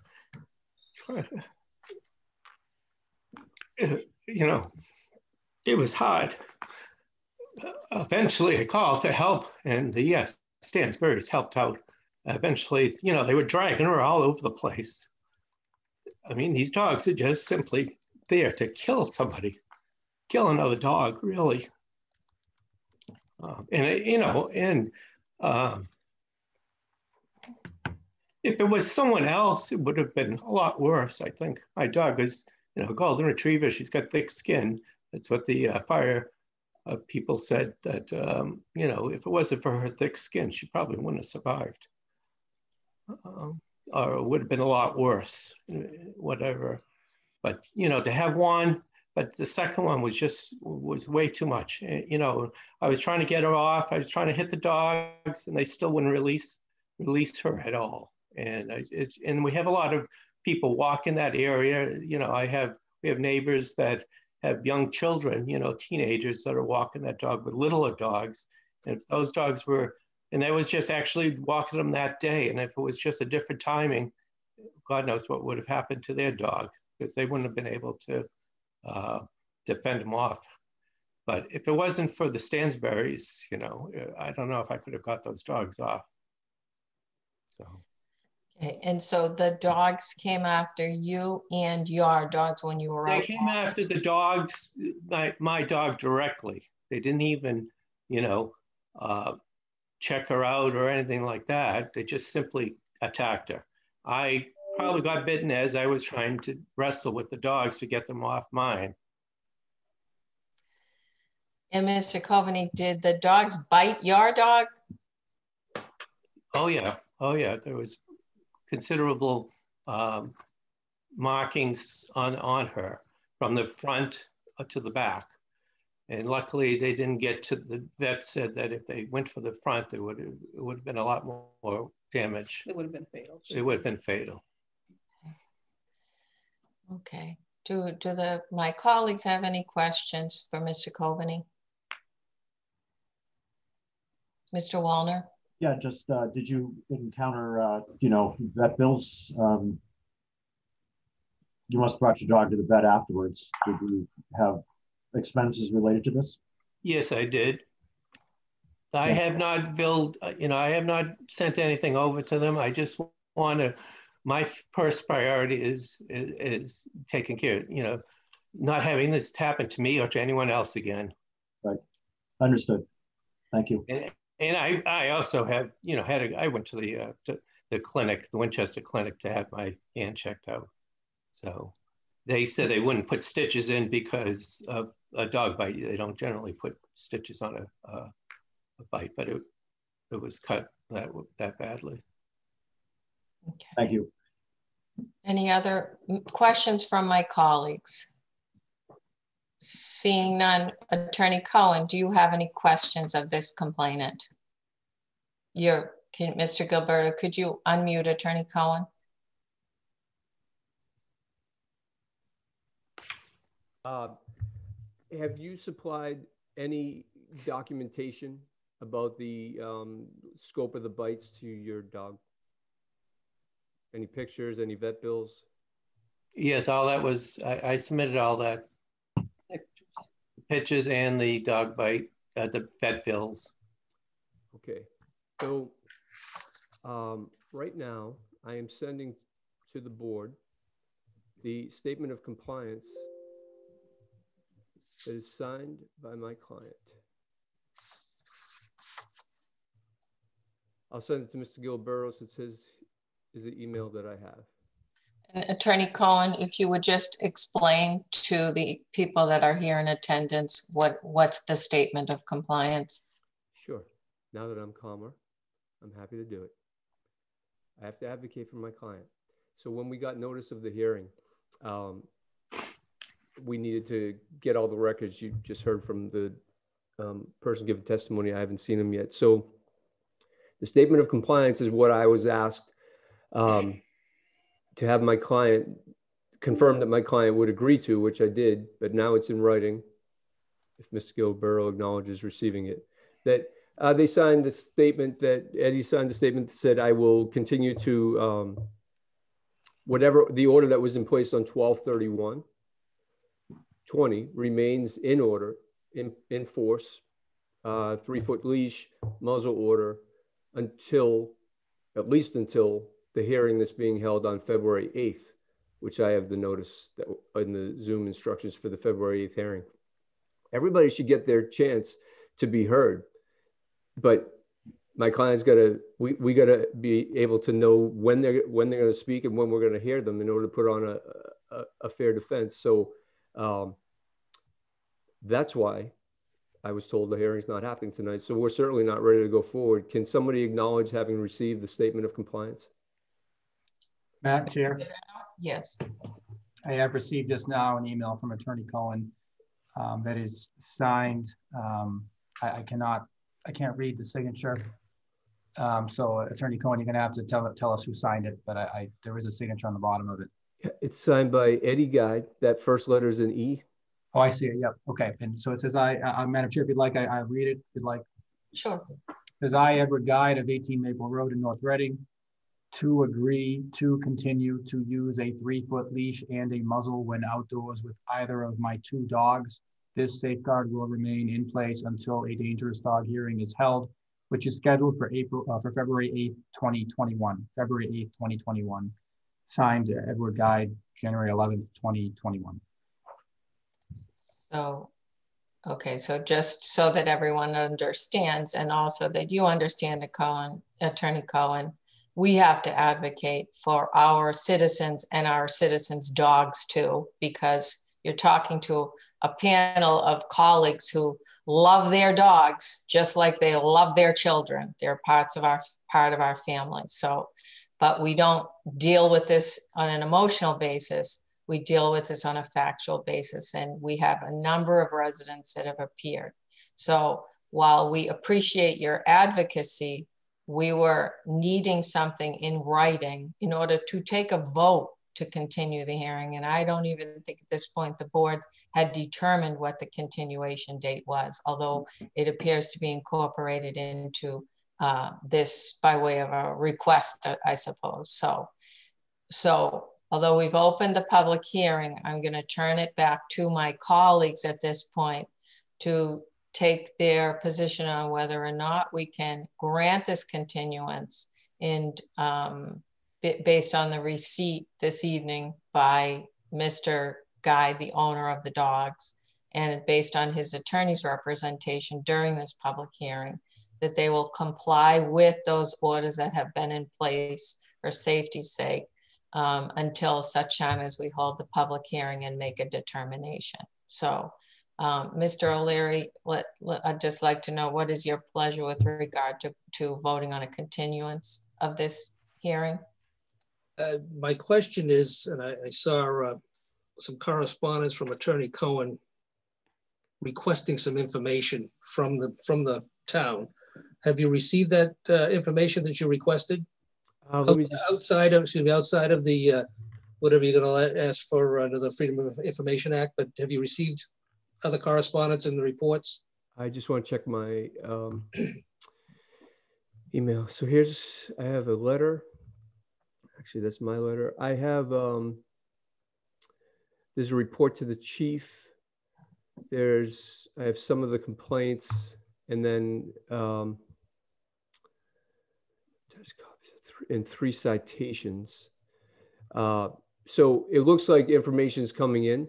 Um, I just, my goal is just that we get to the right decision the right way. It could be, you know, sometimes dogs have to be removed. I get that. But even though I have some the information, knowing that the hearing was put off till February 8th, I haven't had a time.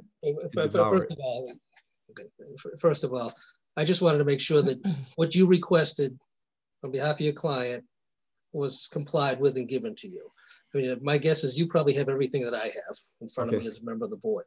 Um, secondarily, as far as um, some previous comments in relation to, you know, you understand what was going to happen in North Reading. Uh, I've been sitting in this board since 1988, and um, I don't recall anybody not getting a fair hearing on anything. Um, so I, I, don't know what you were inferring. Uh, thirdly, um, I live in very close proximity and, and, know a lot of these people and neighbors and dogs. Actually, I know some more of the dogs than I do the neighbors sometimes, I think. I know the dogs' names instead of the, yes. the neighbors' names. Um, you know, so this is of, of grave concern. The, the dogs are known to the to the area, uh, known to the police department. Um, but I certainly want to make sure that that Eddie and his wife get, get a fair hearing. And again, I don't, don't know that it was an unreasonable request that you made because I understand you have a conflict on the 25th as his attorney, and you had requested the 8th. Town administrator happened to convey to me a couple of days ago that that was the request and that the concern was we just needed to know and have in writing that Mr. Guide was willing to comply with the current regulations uh, that are in place or the restraints that were in place. And we hadn't received anything and there was nobody present at 8.15 when we opened the hearing. So, you know, that being said, I, you know, I'm not looking to inconvenience all these people that are here, but by the same token, you, Mr. Guide deserves a fair hearing, just so long as he's in compliance, the dogs are restrained. The question I have to Chief Murphy is, how can we be assured, and are, is there going to be a checkup on a daily basis or a regular basis in the neighborhood that the dogs are restrained appropriately? Because uh, we need to we need to know that that's going to take place. Otherwise, what's the sense of continuing the hearing? Let's just make a determination. Again, I want to give a fair hearing, but I also want to make sure, and, and now we have it in writing, that Mr. Guide's looking to comply. Now we have some responsibility to ensure that that compliance is, is met. So I, my question to the chief is, how can we and will we? Madam Chair. Chief, please. So I did check with the animal control officer. He has received no complaints um, of any violations since the order was issued, um, the muzzle order. Um, but it's it's also difficult because it, you know if the dogs aren't outside, then we're not going to see the dogs. So he does drive by, you know, to check on it, but he has never seen the dogs outside when he's patrolling. So I mean, we do rely on you know people to call us if they do see it, um, but we continue to patrol as well to check. Uh, but we're also relying on the owners to to do the right thing at this point as well. Okay, thank you, Chief Murphy. Mr. O'Leary, any other questions? Nope. All right. Just to, to take a quick, just kind of to take the pulse on where you're at, would you be, based on the written acknowledgement by Mr. Guide and Attorney Cohen, would you be in agreement that we could vote on a continuance of this? I would be at this point. Okay. Uh, Mr. Wallner, any questions? Uh, just I see that somebody wrote on the chat that in fact they have seen the dog without a muzzle since the uh, since the compliance order was in place. So I'm I'm in favor of getting this done tonight because I think it's a huge safety issue that needs to be addressed right away. Okay. Um, I think we'd have to. Um, I think we'd have to defer back to Chief Murphy. So if there is a violation of the muzzle order, um, what isn't this the next step for that, Chief Murphy? What do we have available by way of um, what the dog officer can do by if he observes the dogs without the muzzle outside in violation of the order? Yeah, so it would come back in front of the board at that point. I don't know that our recommendations would be the same if there are violations of the muzzle order. And just, you know, we do have, I know that people may be concerned about, you know, providing the name and a complaint. We do have an anonymous tip line. If, you know, if somebody does see the dogs unmuzzled and, and we'll have an officer up to check on it right away. So just for peace of mind for people that may be concerned about calling. Okay. Um, so Mrs. Gonzalez, any questions? And I just want your um, opinion on whether or not we should be moving to continue the hearing based on the receipt of the written agreement of the um, owner as well as the attorney's presence here indicating there'd be compliance.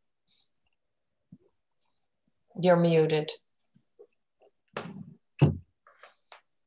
So first I would like to just say um, thank you, Mr. O'Leary, for laying out, you know, why the hearing started and that I take offense to the statement made that this was typical of North Reading and that we don't like them. I'm, I do not even know them. Um, and I, I'd just like to state that, that, that I took offense to that statement. Um, and I'd also like to know, um, Chief Murphy, if they, if the dogs are running free or unmuzzled um, before our next meeting, I mean, what is the consequence of that? Where do we stand with that if that happens? So we, we would, you know, we have bylaws and in general laws in place. We would just continue to follow that. You know, I think multiple violations aren't going to change. Um, you know, unfortunately, if, if, if there is, the dogs do bite, um, you know, I think the animal control officer or a police officer does have authority, you know, beyond, um, you know, fining and, and, and issuing orders um, if it's a public safety issue. Um, but short of that, we would be right back here where we are. So, but they would continue to be uh, fine. But if they're out and about running around unleashed uh, and off the property too, the animal control officer would, would have to. Correct. Yeah, he would, he would, he would issue violations for being unleashed, unrestrained, um, but as far as the muzzle order goes, there's the, the remedy is to come before the board. Because the, the muzzle order is only a temporary order right. in order to get before the board. And then the board can issue whatever um, orders they deem necessary at that point. And that would be permanent. And I would assume that there would be um,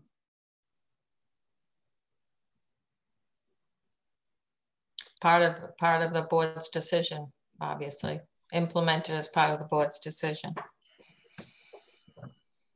Chief Murphy, I think we lost you, but um, Mrs. Gonzalez, are you in?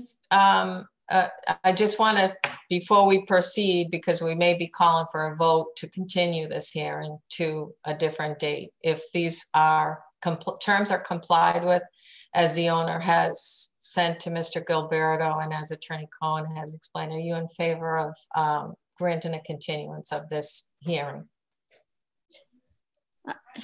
I'm going to have to say that I'm, I'm very concerned uh, after reading the statements from all of these residents that live around there. I don't live far from there myself and walk my dog. I've had dogs my whole life. Um, I'm concerned and I don't want to see another dog hurt and I don't want to see, God forbid, a, a person hurt. Um, I, I think I would want to proceed if it's if it's lawful and we can do that. I'd like to proceed. I, the owner is here. I mean, she was on here. I don't, the information is available to the attorney and to everyone. I, I would be in favor of proceeding. Well, I think, and I don't want to speak for, I won't speak for Attorney Cohen. However, he did indicate that he is awaiting hmm. additional documentation from the town. So, and I'll turn it back to you, Mr. Gilleberto. I know he received, the owner at least received the letter um, as well as the copies of the complaints. Have you received any other requests for documentation in order to um, uh, allow the attorney and the owner to be prepared for this hearing? Uh, there, there was, Madam Chair, through you, a public records request that was filed, I believe, on Thursday, seeking the associated documents um, with this. Um, my, our response would likely be the very packet that was given to the owner of the property um, and provided to the select board this evening. Uh, it's possible that there may be some internal emails that we would have to identify from our electronic mail system here in the town hall. We've not provided those to uh, Attorney Solomon. But I, I, can tell you that uh, you know the, the information that's the subject of the hearing obviously is all in the hands of the owner, and I believe was also forwarded to Attorney um, Solomon by the police chief, if I remember correctly. Madam Chair. Yes, Chief Murphy. So all the documents that were requested by Mr. Cohen were returned the same day to him. So he has all the documents that he requested from the police department. And I believe the town clerk also fulfilled her public records request. Okay. So does that, Mrs. Gonzalez, you, you want to move forward? Is that, I'm just trying to get your impression. Yes. Okay. Um, Mr. Stuto, your thoughts on? Um, so the only thing I look at it from is a standpoint of as long as everything has been provided to Mr. Cohen and that there is not some appeal that we end up losing if there, I don't know where you appeal this again. I mean, I'll maybe somebody can educate me on that just because I think then that will become an incredible waste of time for everyone involved. But if he has all the facts, and that needs to be confirmed, because I do agree with Mr. O'Leary that, you know, it's um, everyone needs to be operating with the same set of, you know, facts and information to make it fair. You know, just because the worst thing is when the losing side is not fair, as we know. So, what I want to say is that I would if we can get confirmation tonight, and that's a bit, and that's the problem, like real confirmation, um, and that everything has been received, then yes, I think we should move forward. However, if there's any chance that some document has not arrived, and that then can leave the door open for, well, the select board, you know, voted in haste or were predetermined. That's my fear. So that's the only thing. And uh, and also I would add that if there was an agreement with the town attorney, um, that that's my bigger thing too. Is that you know our, our word is our bond. So um, I, you know, again, I I want to proceed, but my fear is that I I do I do need the confirmation that all documents were received and that there wasn't some oversight between the town attorney who cannot speak on his behalf right now because he's not here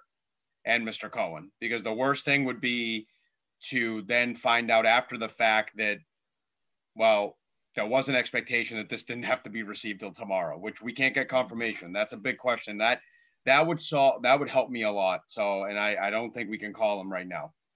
No, and it's it's pretty clear Attorney Cohen is waiting on additional documents, whether or not they're related. He has made the request for them, and the town has a certain amount of business days to respond to that. And I'm assuming that, you know, because it was just recently sent, that they're going to do their due diligence in responding to a public records request, despite you know the receipt of the notice and the the complaint. So there were other things that Attorney Cohen has asked for. Mr. Gilleberto, I noticed your hand up. But you see the struggle that we're in that it, it seems pretty apparent Attorney Cohen seemed to have an arrangement. We did expect written a written confirmation, which is typical in these public hearings when a request is made by an individual that that individual put the request in writing and we uh, have this added factor of the dog um, being the dog, the dangerous dog issue being a requirement that the owners agree that, you know, while those orders are about to expire, that they're going to be extended to a continued date. So what I understand was sent to Mr. Gilleberto, and because we're in this meeting, I haven't looked at it, was that owner's agreement to comply with those terms until the continued date, which I think Mr. Gilleberto also confirmed. So Mr. Gilleberto, is there anything else you wanted to add to that? I would just add that, um, you know, based on the conversations, as I understand them between town counsel and attorney uh, Cohen, the intention was that um, the, the hearing would have been continued administratively and we would have notified all parties that there was an agreement that this took place, but it was conditioned upon receiving written confirmation. When that confirmation was not received by the time the agenda for this meeting needed to be posted on Thursday afternoon, this hearing was posted. Um, and Madam Chair, I know you and I discussed that uh, as well on, on Thursday, uh, which is what has led us to where we are at this evening. Um, is now subsequently been provided by um, by Attorney Cohen um, this uh, attestation of this willingness to comply, and that does fulfill the expectation, as I understand them, the conversations between the two attorneys going back to Thursday of last week. In terms of the request for the records, Um, you know, again, um, you know, this is one where the, the meeting packet contains the records that are relevant to the hearing. They have been provided to the, uh, the to the owner. I believe they've also been provided, although secondhand, to Attorney Cohen. Um, the only other records I could think that might be out there might be electronic communication um, related to this. I don't believe that they're substantive, but I don't want to represent to the board that we've done that complete search and provided those to them because that was not ultimately the intention when we were at the point of um, discussing the hearing on Thursday. Okay. Okay. So we need to make a decision and move either move forward or take a motion to continue it with the certifications of the written confirmation from the order now received. Mr. O'Leary, I see you're waving at me there. I am. I also just want to make something very clear, and, and I'm sure this isn't uh, Attorney Cohen's first first hearing before a local board. Um, town counsel advises us, does not speak for us. This board determines when the board when the hearing will be continued to, and, uh, and it, uh, obviously in consultation with the with the uh, with yourself, yourself. But but again, uh, this board will determine, you know, when when the hearing is going to be. The town counsel cannot agree to a date on behalf of the board. The board makes that determination. And again, you know, to me, this is not, you know, well, well, I have no problem listening to everybody tonight and come to some some reasonable conclusion on it. Uh, I just don't want to see us get into an appeal situation, wasting additional uh, taxpayers' money on appeals, uh, prolonging the uh, the determination this board will be making uh, just because of some technicality at this particular point in time. I don't think it's wise. So if we can wait uh, until the future date that the board finally determines to make it happen, I think it's in everybody's best interest. Again, I'm not the least bit concerned about making a determination, listening and making a determination. I'm quite prepared to do that. But um, I don't want to I don't want to get hung up on technicalities and have this thing prolonged unnecessarily and have everybody spending an inordinate amount of money when we can come to a conclusion at a reasonable time period. Okay. Okay. So do we have a motion? Uh, yes. Madam Madam Chair. Oh, I'm sorry. I did not see you. I apologize, Mr. Gilleberto. They didn't have my hand up. That's why. but uh, there was a hand up from uh, a member of the audience here that I believe um, Mr. Sutherland at one point had his hand up, but I do not see him on here now. Okay. Um, okay. I see. There he is. He's right there, um, um, Madam Chair. Uh, hi, this is uh, Tim Sutherland, 17 Maple Road. Sorry, I apologize. There's a message in the chat room. This is virtual hearings at its finest. There's a long message, but I think that's from you, Attorney Cohen. Uh, yeah, it is. You could skip it. It just says, oh. it's just showing that in this message, there wasn't anything, he just, you can see how it's worded. I did get a subsequent one, but it just says he's complied with it, so we're not asking for much, just showing that initially it wasn't a requirement that it be in writing.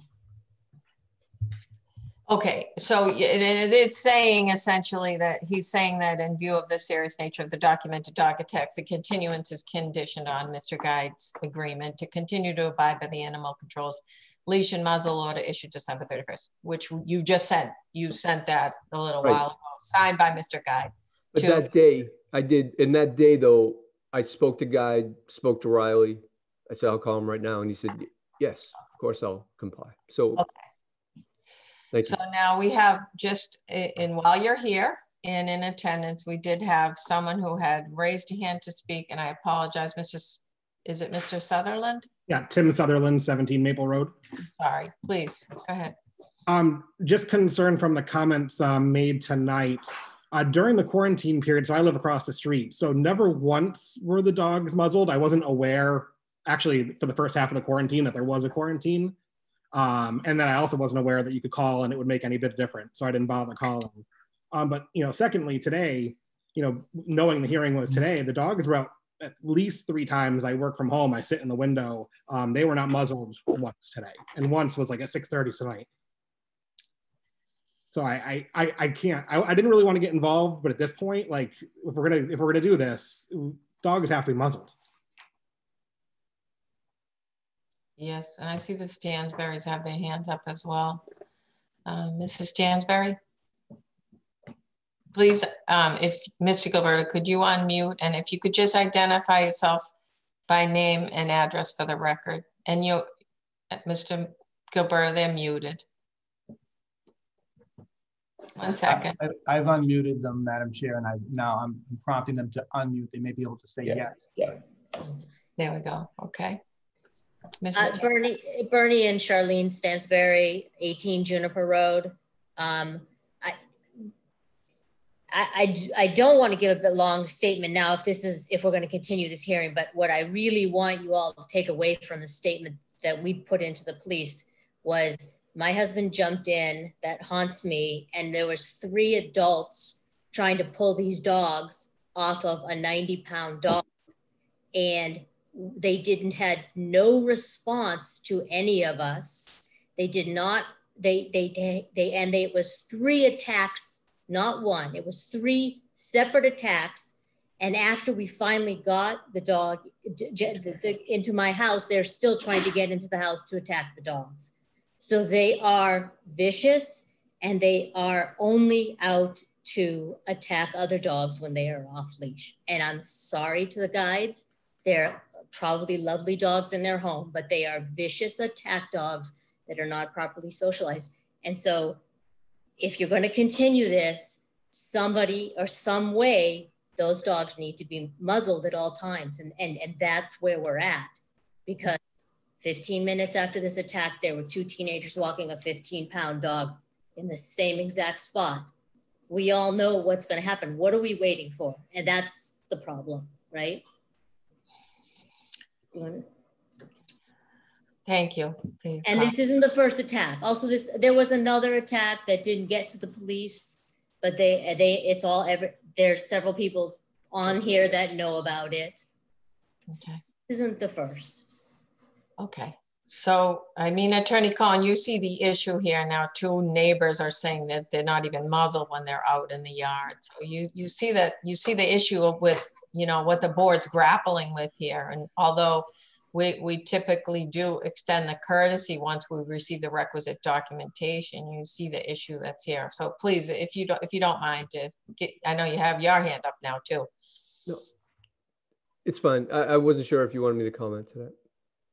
Uh, yes. Oh. I, oh, I think okay. I think that, that despite the letter, I think there's really it seems pretty clear that that that they're not complying already. So there's something you can else you can offer by way of an assurance. I don't know that the written assurance is going to cut it here. So well, I certainly don't want to um, put myself out there for somebody who's not going to if you comply. Um, obviously I, I, just got the case recently. From what I'm hearing from everybody, I, I wouldn't want this person as my neighbor under the circumstances right now with the way the dogs are managed. So I need to figure out if he can manage them better or not. Um, so in terms of other stuff to do, well, I think I don't know what North if North Reading has a kennel or whatever, but I you do have the you could if if these dogs are violating before the next hearing and that's a that's a risk I, so if they're caught again if there's a verifiable you know non-compliance now everybody knows what what the rules are um, i think you have to seize them at his cost and put them in a kennel until the hearing um, that there's got to be a consequence to to affording us the ability to put on a fair hearing. I mean, that's that's great, but it butts up against people's safety. So I get that. So I think that if he's not compliant and we have a credible proof, I mean, everybody walks around with a way to capture this. Well, then then I think that penalty has to put in. It, all, it has to be put in. It also wouldn't help him when I'm trying to put on defense here that I'm trying to say here we have a, a, an owner who can be better tomorrow than he is today. But if he's not going to follow what we've what I fought for tonight, well then that would put the board in the situation of saying, how can we trust this guy again? So uh, I only want to re represent responsible pet owners, and I know a lot of the ones I represent were irresponsible, but it's my job to see if I can get them get them there. But um, I wouldn't tolerate this either if if there was a violation of um, of the safety measures put in. So And, and what I would say is, um, and that's, those are seized at his cost, you know, until the hearing, that's whatever the cost to the town, he has to reimburse them if he doesn't win. Okay, so I think, oh my word, um, I think we have to, it's, it's 10 past nine. I think we have to decide whether we're moving forward or not. I, I understand what you're saying, Attorney Cohen, and I understand the request for continuance, but it sounds to me like even in place with these current orders and not being complied with. And obviously that's our number one priority is safety of the other individuals and, and animals. But Mr. O'Leary, one last time. Hopefully for the last time. But uh, again, I, I appreciate uh, Mr. Sutherland's comments. I mean, I was unaware of it. Um, to Attorney Cohen, you know, I appreciate your comments, but you know, at his expense, you know, put the dogs in you know quarantine or lock them up somewhere. Uh, but my question would be at who else's expense and who was other dog's expense. Um, yeah. Right. Exactly. You know, in other words, at, at whose expense? You know, we're saying, okay, you know, yeah, again, I, I've been here trying to advocate a little bit for, you know, give me a little bit of wiggle room here to, to come back and, and provide a defense and, and give us the full um, airing of, of what, you know, their particular side of the story is here. And, and I understand there's been some health issues there with, with Mr. Guide and all the rest. I'm well aware of that. But, you know, that being said, it still doesn't excuse necessarily what's, what's occurred. Um, but if they're not complying as recently as tonight, that's problematic. that's problematic. Yeah. And, and I appreciate your empathy uh, as to the situation we're in here. And what know, if we do so at whose risk? And who who's whose other animals' risk and whose person's risk? And, and the Stansberries are, aren't kidding. I mean, people walk their dogs by that street every single day, multiple times a day. And uh, some of these dogs are would would be a snack for these these two animals. So it's well, we're all in a tough. A huge, you're asking us to take a huge risk well, I would put it this way: if if the hearing had been tonight and you came up with the worst of the worst, other than euthanizing the dogs, you'd probably put in a muzzle order and a three foot leash.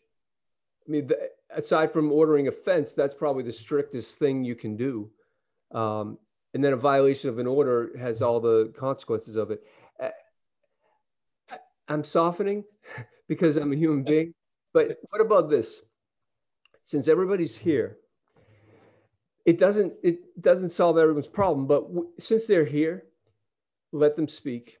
But you don't vote tonight. You continue the hearing, so I get my chance because I, I haven't see I haven't prepared anything, so I don't know who's going to say what. I haven't had a chance to go through anything.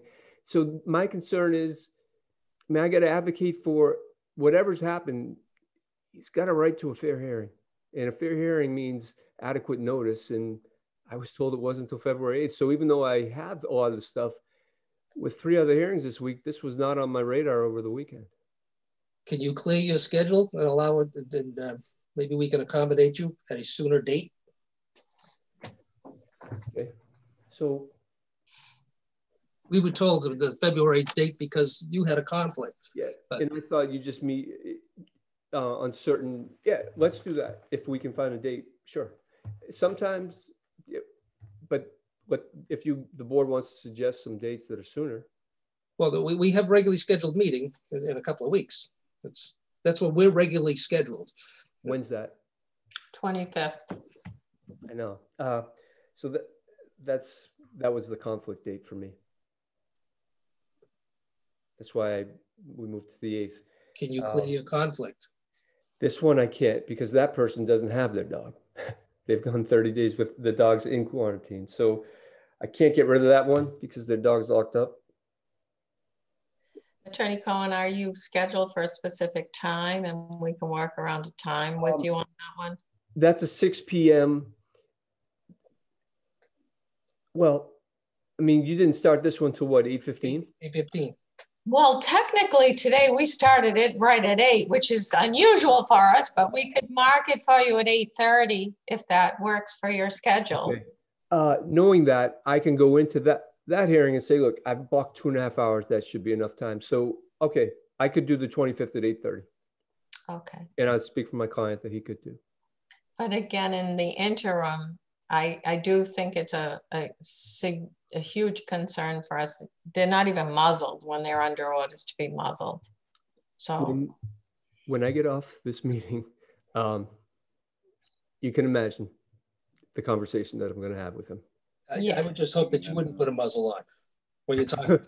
and, uh, I, and I apologize for getting a little out of line, but I it's important to me that a fair hearing. And sorry for offending North Reading, but um, not every town does it right. So appreciate you giving me the time.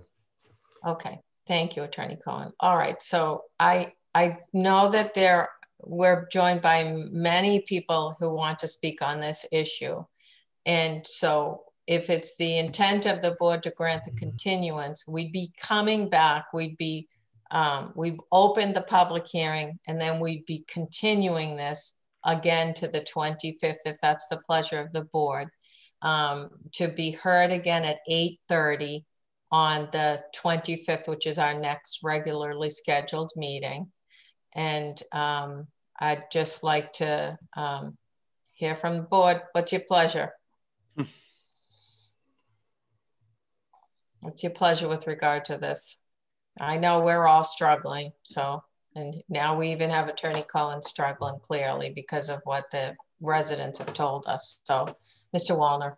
Hey, can I just ask from a legal point of view, um, you know, the, the point that uh, Mr. Stuto brought, brought up. If we continue tonight, are we putting ourselves in jeopardy to do something more in the future? Or you mean from from from our legal position?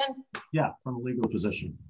I mean, I, I personally wouldn't debate a legal position in in, uh, in front of the uh, opposing party's attorney, but nevertheless, our legal position is protect the residents, protect the residents' animals. Um, that's a pretty well-traveled area. So, from a legal position, we're doing our due diligence to see to it that this public safety issue is um, taken care of. From a legal perspective, I would have a difference of opinion with Attorney Cohen, though I'm not the board's attorney. I yep, think that it, it, was a noticed hearing. I, I, I understand there was some back and forth, but an Attorney Cohen isn't familiar with our process where we actually vote to continue on the floor. We just did that. Uh, you know, we not only do we vote the dates of public hearings, but we vote on continuances on the floor. And I think unfortunately, we didn't have the documentation that we asked for. So uh, from a legal perspective, I, I'm not, uh, you know, one way or the other, it's up to the board whether or not to do this. If the board feels that the safeguards are in place, but also that all of the residents attending need to alert us. If they see one dog out without a muzzle, then that, and the attorney, Attorney Cohen's right, the, the animal officer gonna go and seize the dog and that'll be the end of the story. And it's just our issue, Attorney Cohen, with is that dog going to do damage and harm people or other animals in the meantime? That's our issue. We don't want to wait till that happens. So, um, you know, we're going to go back in circles until we make a decision. And I think it's time for the board. Right. Now, we've talked about this for an hour and 15 minutes, and I think it's time for the board to make a decision on on whether or not we're going to move forward. Yeah. Um, well, I'll be first out. I, I think we should continue the hearing tonight and settle it. Yes. And I also think we do have people here, and Attorney Cohen is here with us, and, and, and we can go along with that suggestion to let these people speak and then continue the hearing until Attorney Cohen can come back. However, we'd want those people to return with, you know, to that continued public hearing if that's the board's pleasure to do to handle things this way. And Attorney Gilleberto, was our attorney planning on attending? Uh, we had not arranged for town counsel to attend, although again, the, the discussion was okay. about a potential continued date upon receiving the documentation, so. So notice and the opportunity to be heard is what due process requires. And the notice is there He has counsel stepping mm. forward in our notice letter to this individual. We invited him and his counsel to attend. His counsel clearly was under the impression this would be continued. We still have to take a vote on that. His client has since that point provided us with written agreement, but it's clear to us that his client doesn't really understand those terms and conditions. We have Attorney Cohen here representing that he will make sure that his client understands those terms and conditions. And we have also the chief explaining to our residents, whatever you see that's in violation of those terms and conditions, and we'll read them again. We need to be alerted right away so that someone in our law enforcement can take action, mobilize and take action, which would be to seize the dogs at the owner's expense. Um, so I don't know if there's anything more to add to that, but if we want to proceed and hear from the people that are here, I think we need to make a decision to move forward on that, and then we can then give give an opportunity to return to this for a final decision. Eh, okay, what's the board's pleasure? Mr. Wallner, Mr. Stuto? Uh, okay. Uh, yeah, why don't we, um, for the sake of going, instead of going in a circle and not leaving any stone unturned, um, you know, we can, as long as the neighbors, and I know it's a big ask, but if everyone can watch what's going on like a hawk at this point, and maybe we can get the animal control person to randomly do some surprise like inspections, which I don't think is too much to ask. Uh, knowing that the dogs would be taken away and that this board would probably not be too happy about it, and that, and I know Mr. Cohen wouldn't either. I guess I, I I can agree to a continuance just to make sure that we do it once and that doesn't come back to this board for any technicality, as Mr. O'Leary mentioned.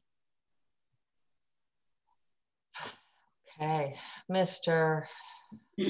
Mr. O'Leary, your, your thought? Uh, I'm good for the 25th and make a move if you have to in between. Okay, Mrs. Gonzalez. I'm I'm fine with the 25th on the condition that I do understand this correctly, that if a neighbor calls the police and says that these dogs are not muzzled or tied, that the animal control can seize the animal and lock this animal the, or these animals up at the owner's expense until the hearing. Is that how I'm understanding this?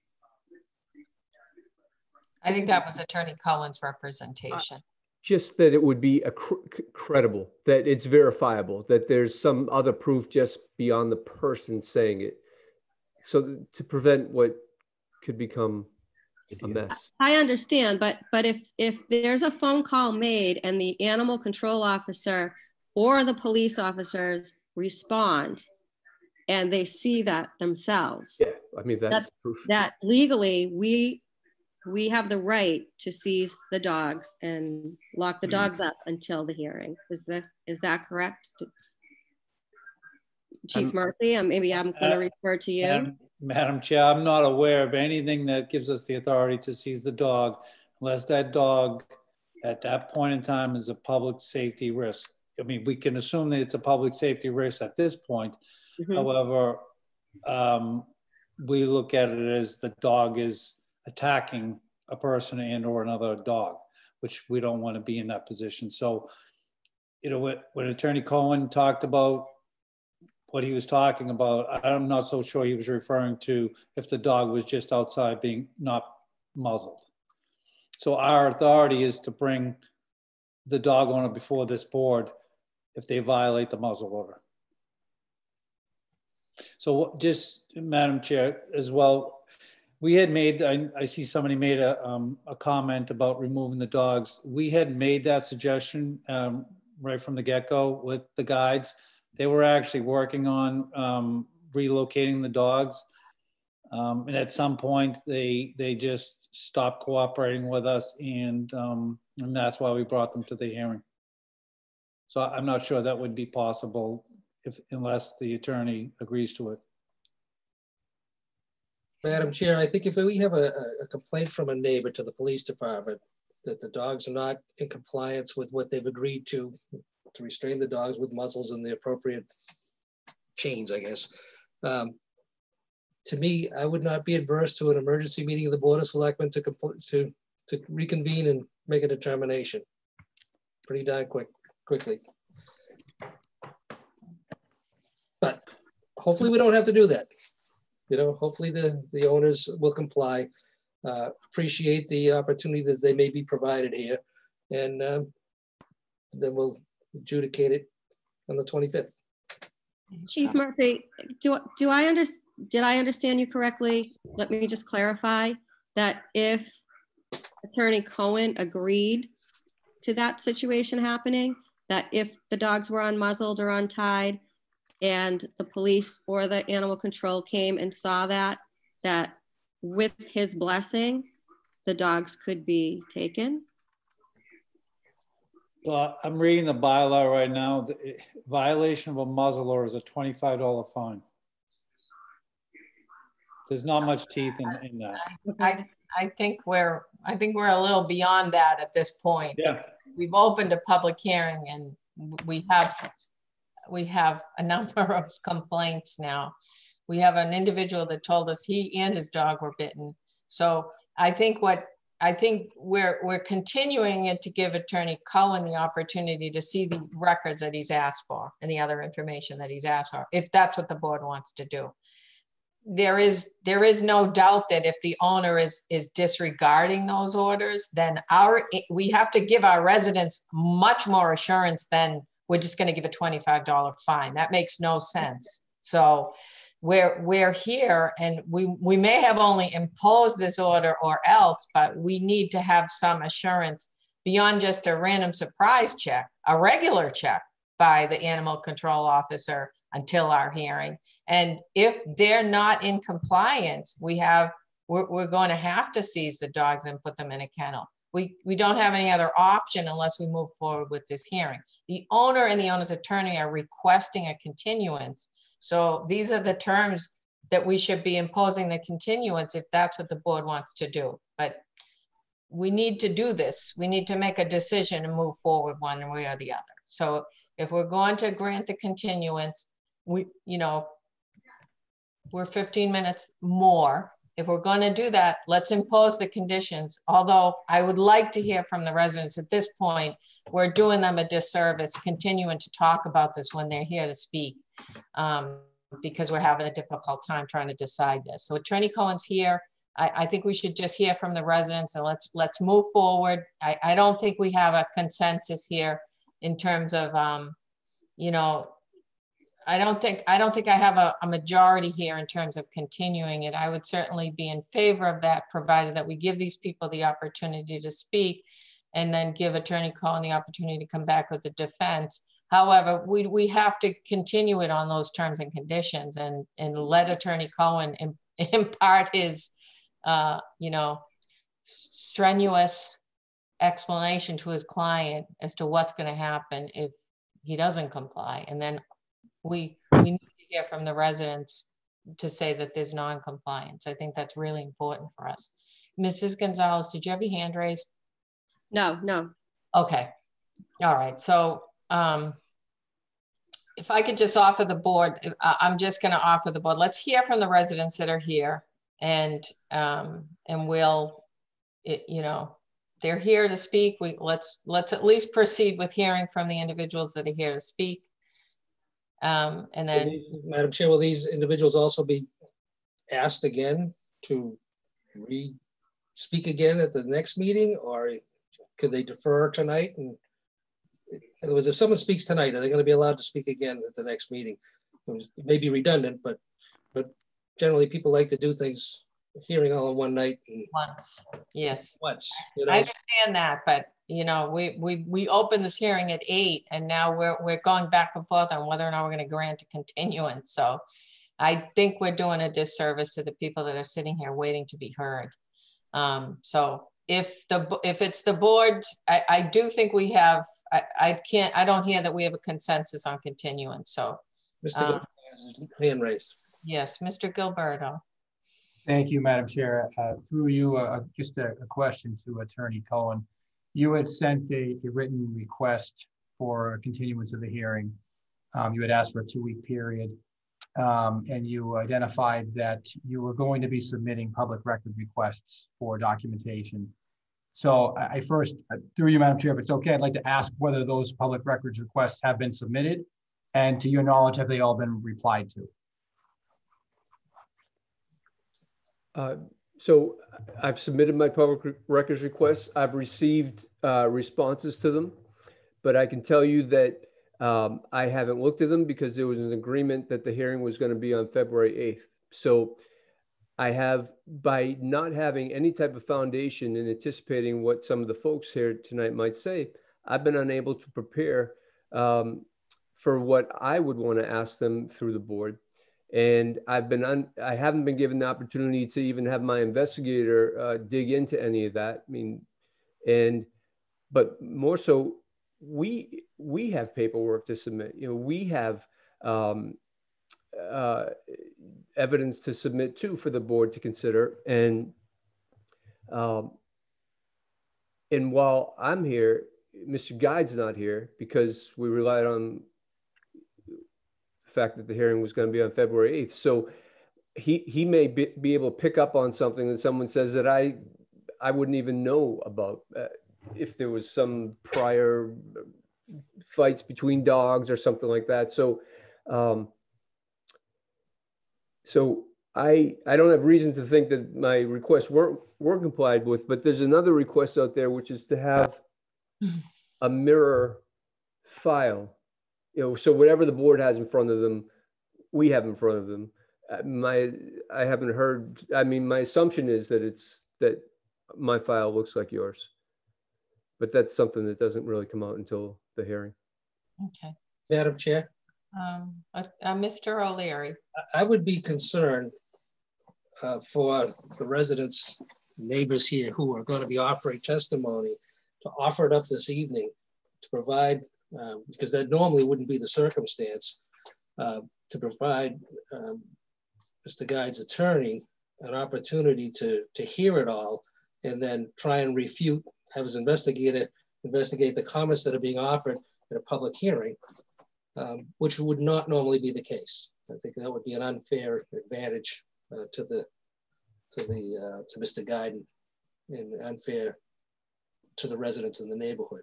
So, I mean, people are more than welcome to speak, but just be aware that, you know, the opposing attorney is, is sitting here taking notes and got to go back, speak with the other uh, people and confer. And as Attorney Cohen said, you know, they would be asking questions of these people who made these statements.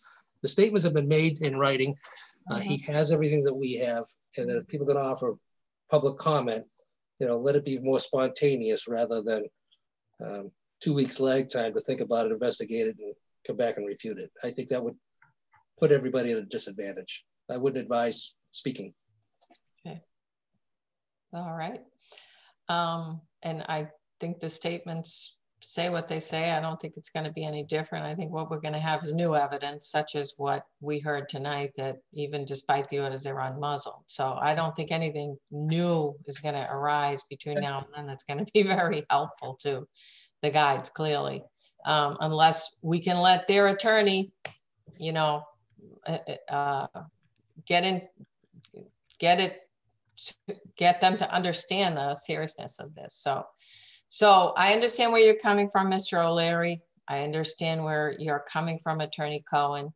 I do think we need to give our residents uh, some assurances. I appreciate the assurances Attorney Cohen has given us that as soon as he gets off of this meeting, he's going to be right there talking to his clients, which it's baffling to me why they left, but that's okay. So, um, do I have a, and, and for the residents that are here, we are hopeful that you will return if the board does move to continue this to the 25th. We want you to come back to that 8.30 hearing. We want you to be heard. Um, and that is the context of this if we do actually continue this. We do have your written statements and we'll certainly can read those into the record, but we want, we want you to be heard in the context of this public hearing. So um, in that context, is there a motion from the board with regard to continuing. Madam Chair, am I adding the conditions to the motion? Absolutely. Okay, so bear with me then. Without a doubt, absolutely. Uh, Madam Chair, I move to continue the nuisance, the dangerous dog hearing regarding dogs at 18 Maple Road to Monday, February 8, 2021 at 8 PM. No, January 25th At 8:30 PM. at 8:30. Uh, Attorney Cohen is, is, has agreed to move that up. He had a conflict, but we're, we're. Oh, trying to oh, Okay, work excuse around me. Okay. Shouldn't have read it.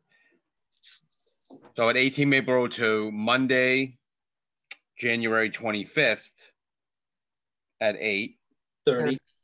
8:30, thank you. With the conditions that the dogs be muzzled and all other uh, conditions of the public safety director be met and stipulation the dogs are removed if not. And attorney, uh, just Mr. Stuto, uh, Mr. Gilleberto, if you could recite those conditions that by, after your recitation will incorporate into this motion. Sure. Thank you. Madam Chair, through you, the conditions were to uh, continue to use a three-foot leash and a muzzle when outdoors with either of the two dogs. And I'm going to ask, do you, Madam Chair, the police chief, did I miss any conditions in that statement? No, that was part of the order on December 31st. Okay, so I have a motion with those conditions by Mr. Stuto. Do I have a second? Second. Motion, second by Mr. O'Leary. Any further discussion? Okay, seeing none. Mr. O'Leary, Aye. Mr. Stuto, Aye. Mrs. Gonzalez, Aye. Mr. Wallner, No. Manupelli is no. So the motion carries. You will, we will ask the residents if you would please come back for the, for the continued hearing on the 25th at 8:30. We know Attorney Cohen will be here. We know the guides will be here.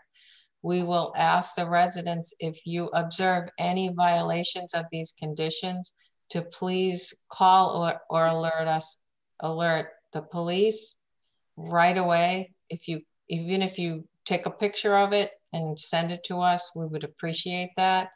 Um, and also ask you to um, just keep us aware.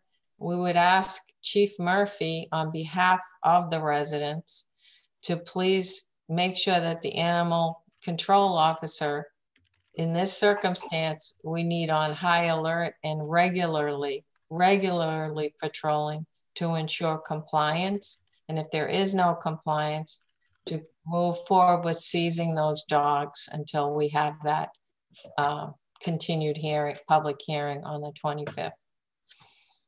And- Okay, so Miss Mrs. Gonzalez has has her hand raised. The deliberation is over. Go ahead, No. Mrs. Gonzalez. I just wanted to ask Chief Murphy um, if maybe, I, I think that there was a, an app or a, or um, a phone number that could be called anonymously. Is that correct, Chief? Yes, they, they, uh, anybody could, um, go to our website at, um, www.nrpd.org and you could submit a tip right through there. Um, it's, it's not monitored overnight, twenty-four seven, um, but we, you know, we do have people that monitor it and we will, the, the best way to do is just call and, and you can, you can call anonymously. Um, you don't have to give your name if you call. Great. Thank you, Chief. And I don't think, I think we have everybody here, their names are on. I don't think they're concerned about anyone knowing who they are. I think we're more concerned about people's safety. And I think Attorney Cohen, you understand that too. And you're talking to a panel of people that are dog lovers, but we're also, you know, safety lovers too. So we know you are, and we want to make sure that your client it does everything to comply and is considerate of the fact that a continuance was granted. So step it up and make sure that there's full compliance with those requirements. So, and we appreciate your showing up and hanging in here. And we understand the issue, but we will, you know, move forward with this on the 25th with you when you get there at 8.30. Thank you for hearing me over my own noise. Appreciate it. I've been emailing with him and I'm calling him right now. Thank you, Attorney Cohen. Madam Okay. Chair, Thank you. Mr. Gilleberto. Thank you for uh, Attorney Cohen, for the guides, for the residents of the neighborhood. Uh, The meeting on the 25th will be another virtual meeting. Uh, will be hosted uh, most likely on the same platform and also broadcast on uh, NORCAM um, on cable television. And the Zoom login information is anticipated to be posted on the town's website um, roughly the Thursday before the hearing. Thank you, Mr. Gilleberto. Okay, so our next order of business is the um, vote to accept the donations from the International Family Church. Mr. Gilleberto. Thank you, Madam Chair, um, through you.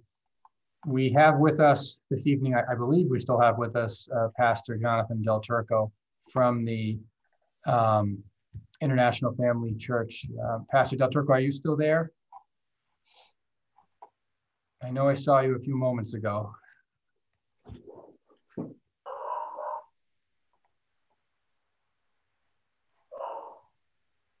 Oh, I guess not. You may have departed the, the meeting this evening. Uh, Well, I know you wanted him to be here. Should we pass over this, um, Mr. Pops Gilleberto? back on, yeah, just go to the next agenda item. If he pops back on, we'll, Really would. Sure. Maybe he'll come back. Uh, is that John? Is John, can you unmute him? He may have actually fallen asleep. Who knows? We're not the most entertaining board. I did just ask him to unmute if that is in fact him. I don't know that it is though. Okay. John is with the dog hearing. We're leaving. Oh, okay. Okay. All right. Thanks for your time. We were hoping. We appreciate your attending and we, we hope you come back. All right. Okay, let's move on. Uh, Mr. Gilleberto, is that time sensitive for us to vote to accept it? I'm sure we need the money, but I know you wanted to really have the pastor here so that we could acknowledge and, you know, say a few did. words. I, I did. It's a, it's, a, it's a great moment for the community, I think. And um, I'm, I'm just going to confirm with the police chief, but I, I don't believe it's, there's any reason it couldn't wait until our next meeting. Um, chief Murphy, is that correct? That's correct. There's no issue. Thank you. And thank you, Chief. Okay, so let's, we'll, we'll table that one till the next meeting. Make sure it's definitely before 8:30. All right, so our next order of business is to discuss the June 2021 town meeting. It is already something we need to think about. It's upon us, I planning. feel like, I feel like we're halfway there tonight. Uh, Mr. Gilleberto. Thank you, Madam Chair. Um, uh, It is uh, on the agenda really for purposes of us just sort of identifying that it's on the horizon. Um, You will see in the packet that I have notified departments, boards, and commissions of the due date for warrant articles to be included on the warrants. But I have stipulated that the extent of the warrant and the venue of the town meeting itself are contingent upon the public health uh, emergency and the state of uh, our ability to um, host the meeting in particular uh, venue. Most of the board members may be aware that historically we've uh, been required to have a hearing in January to schedule the June town meeting date. However, with some charter revisions that were approved by the town going back a few years now, we um, now are able to have that hearing uh, anytime up through March 31st. So at the moment, it's my recommendation for us to sit tight, if you will, um, decline to hold that hearing until we know more about the sort of state of um, public health and our ability to have uh, a meeting. Um, most of the gathering limitations do not apply to a legislative body such as town meeting, but we're obviously trying to be mindful of them from a standpoint of planning for uh, um, public health purposes. So our expectation would be to come back to the board um, at some point, uh, probably in February with an update to talk about the planning and the discussions and probably look to have that hearing to set the, the town meeting dates in March um, when we have more information.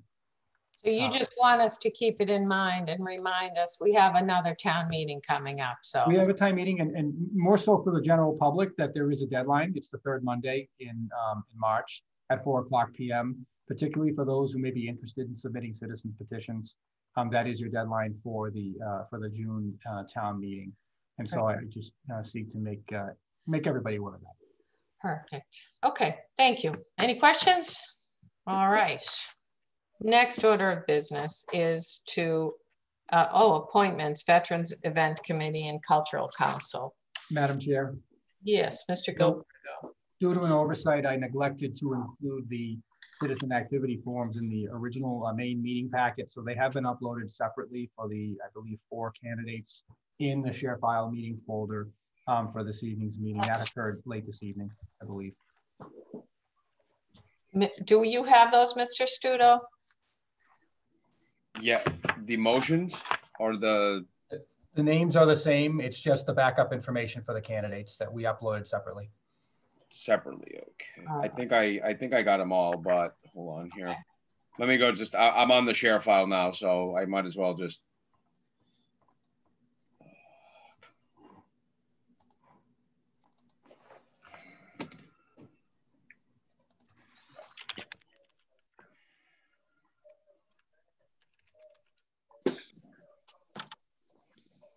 I have three screens going at once, and I still don't ever have all the information I need. So I don't. I don't You know what? You're awake with a newborn. That's a feat in and of itself. I think I already played my sympathy card on that one too many times. so I'm just Never enough sympathy for that. Yeah. Mr. Stuto, I believe that the motions themselves are in the customary location with the um, with the meeting packet. Um, I starting on page five, I believe, okay. in the main meeting packet. What we added was just the um, actual applications themselves. Oh, So it's page eight, the motions. I was gonna say it's not, yeah, so, okay. Okay. Yes, they Because begin- I have the separate ones that I get from uh from Jane. And Jane, I believe those are the same motions that were included in the main meeting packet. Is that Yep. correct? Yeah, and we're just changing what again? I'm sorry. Nothing. You're not Oh, changing. No changes. We just added the backup information. Okay. Page eight at the bottom, I think it's starts. Yeah, I don't know why I'm so. I I have it here. I'm just having issue getting it up opened. Okay. I see. Okay, so just added the backup information. Why am I so confused?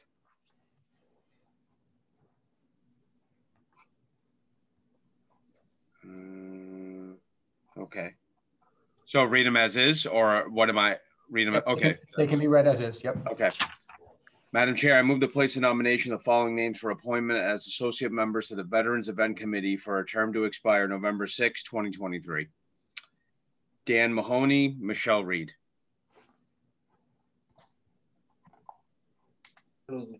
A second. I, th- okay, um, Miss, Mr. We have a, um, motion and by Mr. Stuto, a second by Mr. O'Leary. And he, uh, Mrs. Gonzalez is the liaison. yes, Is it two for two, Mrs. Gonzalez? yes. Um,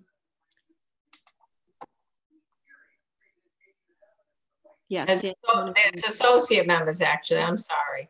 It's the associate members. There were two spots available for associate members. Okay. Um, happy to say that there was a lot of interest in this committee um, and happy to be appointing these two people. Great, so a motion by Mr. Stuto, second by Mr. O'Leary. So who's, who's the chair of the committee? So, so I was going to talk about that because there is a full membership. So I was going to address that then. But um, Joe Vino was the chair, um, and he has chosen to um, step down. So there was no vice chair. So I had to confer with Sue Magner, um, you know, to go through all the applications. And so her and I came to we decided this together, seeing that there was no chair or vice chair. So they will reorg once the committee gets filled. So motion by Mr. Stuto, second by Mr. O'Leary. It's a name vote. Mr. O'Leary, Dan Mahoney, Michelle Reed. Mr. Stuto, Dan Mahoney, Michelle Reed. Mr. Wallner, Dan Mahoney, Michelle Reed. Mrs. Gonzalez, Dan Mahoney and Michelle Reed. and Manupelli is Dan Mahoney and Michelle Reed. Um, Mr. Stuto, if you just go back to page eight at the bottom, that's the full, mem- that's the um, motion for the, the full member appointment to the Veterans Event Committee. Okay. um, You keep saying page eight, but I, I don't know why I'm getting confused. It's on the left The side. motion right before that one. The motion just before the one you made would be the- for the full member. Right above it, yeah. It's actually Okay. page four, but on the, Page four, so that's what I, Right. okay, Oh, mine's page eight.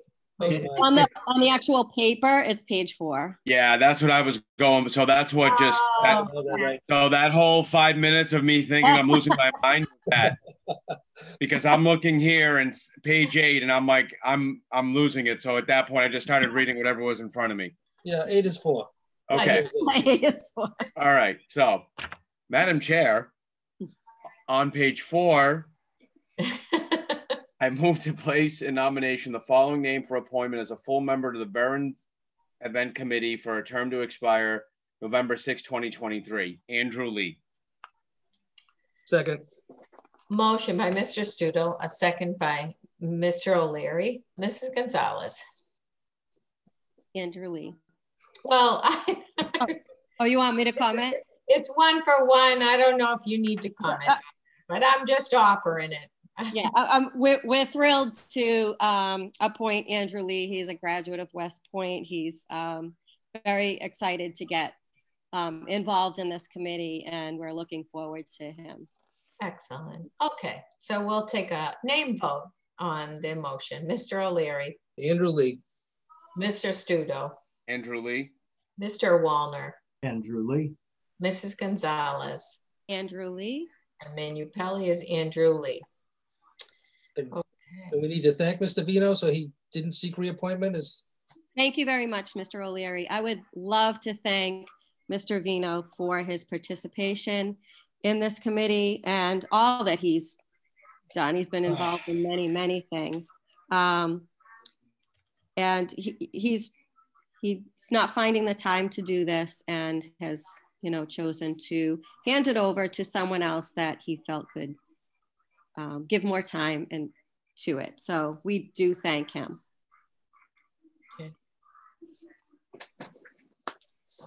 Right. Um, and the next is for Cultural Council, Mr. Stuto. Yes. Madam Chair, I, I move to place in nomination the following names for appointment to the Cultural Council for terms to expire December 31st, 2023. Erin Matt Daniels. second, I have a motion by Mr. Stuto, a second by Mr. O'Leary, and I know it's one for one, but Mr. Wallner, any com, and you want any comments as a liaison? Uh, he has plenty of room. Phil's actually, you know, the chair, and he's right here saying, get involved. But uh, uh, no, he has up to 22 slots. I think he's at nine right now. Um, he's already interviewed her and it's all sounding very good. So um, it's a, it's a go. Great. Okay. And uh, it's a roll call vote. Mr. O'Leary, Aaron Matt Daniels, Mr. Stuto, Aaron Matt Daniels. Mr. Wallner, Aaron Matt Daniels. Mrs. Gonzalez, Aaron Matt Daniels. and Manupelli is Aaron Matt Daniels. Okay. Next order of business is uh, approving conflict of interest exemption, Mass General Law, Chapter 268A, Section 20D. Vote to approve, vote to authorize the chair to sign. Mr. Gilleberto. Thank you, Madam Chair. Uh, And this, um, this matter is before us as a result of an attempt to provide some limited programming by the Parks and Recreation Department uh, over the summer, uh, last summer, summer of 2020, as I think the board, and I'm sure that, as I'm sure the board, and I think the community is aware, there were a number of restrictions in place um, over the course of the summer with regard to our ability to offer recreational programming.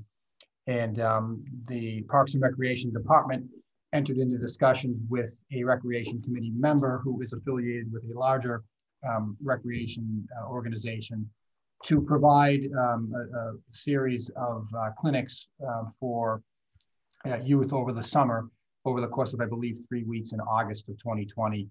And so it was identified that in order to ensure that uh, we are meeting the letter of the uh, conflict of interest law, there would need to be an exemption approved in order for um, payment to be made for the services that were provided by um, the individual um, who's involved, who again um, happens to also be a, uh, a, volunteer on the Recreation Committee member.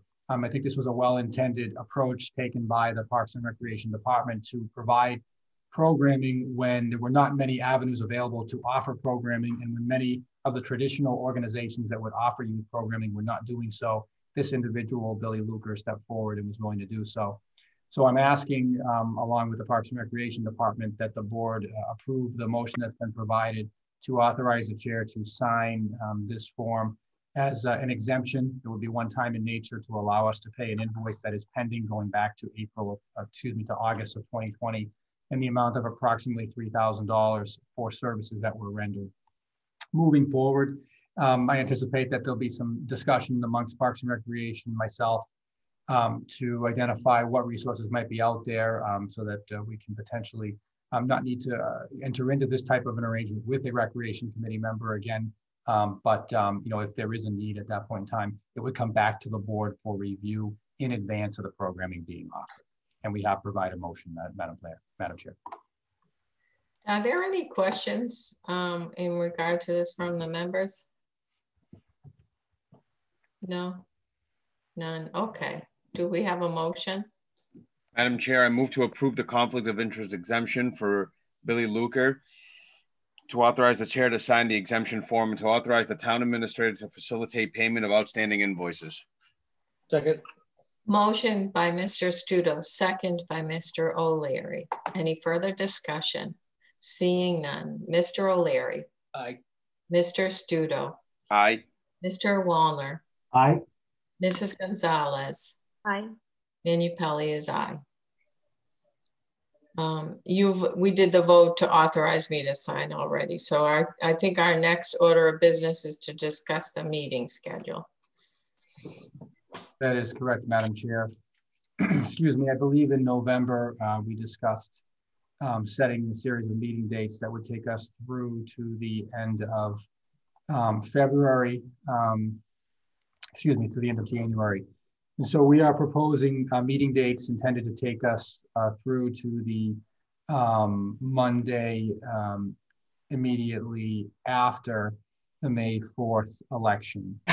Um, and the dates proposed were in February, February 8th and 22nd, um, as well as February 27th, which would be a Saturday for the traditional police department, fire department, and Department of Public Works budget hearing, which generally is a day long or nearly day long event. Um, so we have identified that date and we are working, as you know, Madam Chair and Madam Vice Chair from the, our discussions in financial planning team to have the budgets ready in time for that timeline to be met. And I'll talk more about the, the budget itself under the town administrator's report. We're then proposing actually three dates in March, March 1st, 15th, and 29th. I think that depending upon the workload, there may be the opportunity for us to um, to uh, uh, cancel one of those meeting dates, but at the moment um, we've identified them all there as uh, for scheduling purposes. What was those again? The third? The March, so it'll be February 27th, which is a Saturday, and then March 1st, 15th, and 29th. First, 15th, okay. And 29th. And then we proposed April 12th, um, April 26th, and the intervening week is a so-called school vacation week for the Patriots Day holiday, and then May 10th. April 12th and 26th, right? Yes. And then May May 10th. So Gilleberto, that's Saturday one, where this year I will not get to bring my mother's cookies. Why? Because we're not going to be together. Unless I can, uh, Can you drop them off? I mean, I guess I could do that. Mailboxes, yeah. Um, You can socially distance and leave the cookies. That's true, Steve, that's true. I mean, I, I'll, uh, I can get, I can get You pretty, set a precedence, Mr. Stuto. I mean, I can get pretty creative with those, but would we be doing that? So that'll just be a really long Zoom meeting pretty much at that point? If, assuming that there's no miracle that we're all vaccinated before then? I mean, that was my anticipation. Um, Okay, just that's in fine. of the, the likely size of folks. I don't think that we could comply with the gathering restrictions, given how many people we normally have at those hearings, just between the two committees that are meeting, the- this board, the finance committee, the departments that are involved. Um, obviously, as we get closer to it, if there's an opportunity to do that, I think we would all consider it. Um, but I'm expecting it would be virtual at that point. Can, can you review those dates? I, I, did, did you mention the Saturday date in March? I'm sorry if you did. I, In February. It's only a Saturday date in February. 27. Yes. okay, okay. All right. Well, I have a mailbox, so feel free to drop off the cookies at 57. Special deliveries, right? Okay. Um, all right. Are there any other, any comments, questions? That looks, it's looking to be, can you, would you, Mr. Gilleberto, just circulate that, those, those dates around to us, just to Sure. so we can add them to our calendars? Sure. All right. Um, the next uh, item is legal bills. Vote to approve legal bills. Madam Chair, I move to approve legal bills for November 2020 in the amount of 13,475.27. General 5366.27, labor 2476.50, 20 Elm Street 2632.50, arbitrator B Fraser 3,000, total 13,475.27. Second, I have a motion by Mr. Stuto, a second by Mr. O'Leary. Any further discussion? Seeing none. Mr. O'Leary, aye. Mr. Stuto, Aye. Mr. Wallner, Aye. Mrs. Gonzalez, Aye. and Manupelli is aye. Okay, we're on to the town administrator's report. Mr. Gilleberto.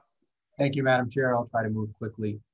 Police Chief Michael Murphy became president of the Northeastern Massachusetts Law Enforcement Council effective January 1st. Chief Murphy has been on the executive board of NEMLEC for a few years and has assisted in the transition late last year, um, 2020, 2019, excuse me, uh, when the previous uh, president was required to step down after changing jobs to a police department outside of the NEMLEC region. And for those who don't know, the Northeastern Massachusetts Law Enforcement Council, or NEMLEC, is a consortium of police departments in Middlesex and Essex counties, and two sheriff, uh, two county sheriff's departments. The member agencies operate by sharing resources and personnel, collectively providing services to each other that might not be available to one. NEMLEC coordinates the sharing of personnel and resources to provide member agencies with the ability to provide supplemental services to the 1.7 million people in the 925 square miles that they serve. And congratulations to Chief Murphy. We thank him for stepping into that role. The State Department of Revenue approved the town's fiscal year 2021 tax rate of $15.63 per thousand dollars evaluation on December 17, 2020. Real estate tax bills due February 1st were recently mailed. As is the case each year, January bill reflects the first bill for which the current year, fiscal year 2021, is um, reflected and therefore incorporates any associated change in valuation and change in the tax rate. Um, I'd like to remind all residents that information regarding real estate exemptions, which is an ability to reduce your tax obligation if you qualify, or abatements, which is an ability to contest the valuation of your home, the classification of your property, uh, or similar matters. That information is available on the town website. Um, there are some deadlines that are important to consider um, for abatements, which is the, generally the value of your property. You need to apply by February 1st, and for exemptions, you need to apply by April 1st. The 2021 open burning season kicks off this Friday, January 15th. Residents can begin applying for permits today by creating an account on the fire department's new burn uh, portal. northreading.firepermits.com. This is a streamlined software separate from PermitEyes, which provides the online access to construction related permitting. And I included a copy of a media release that's been put out by the fire department. And then finally, I also included for the board members a copy of the first iteration of the fiscal year 2022 revenue and expense plan, which was reviewed at the most recent financial planning team meeting.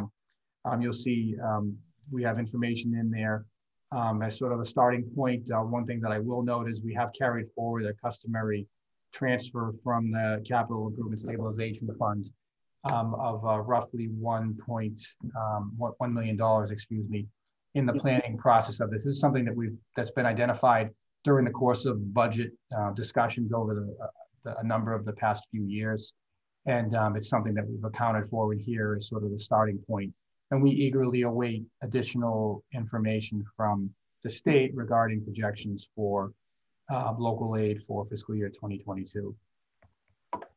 Um, no, it's a lot of information and it's late, but uh, I did provide that for the board more just to keep you informed as we continue to make, to, to make our way forward.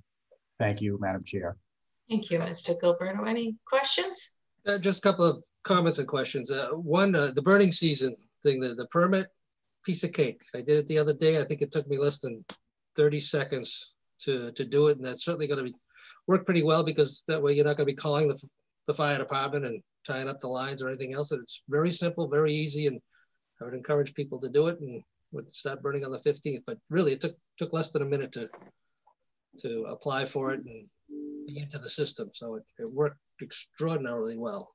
Uh, the other thing was, I think most of us probably got some correspondence from a local taxpayer asking about the tax bill and why it went up so much. And I know the town administrator responded to that individual, but I also had some other comments from people similarly. And this time of year when these bills go out, I get a lot of the same comments. you know, my tax bill jumped uh, inordinately and a significant amount of money. And how come, what's going on? You're not doing a good job.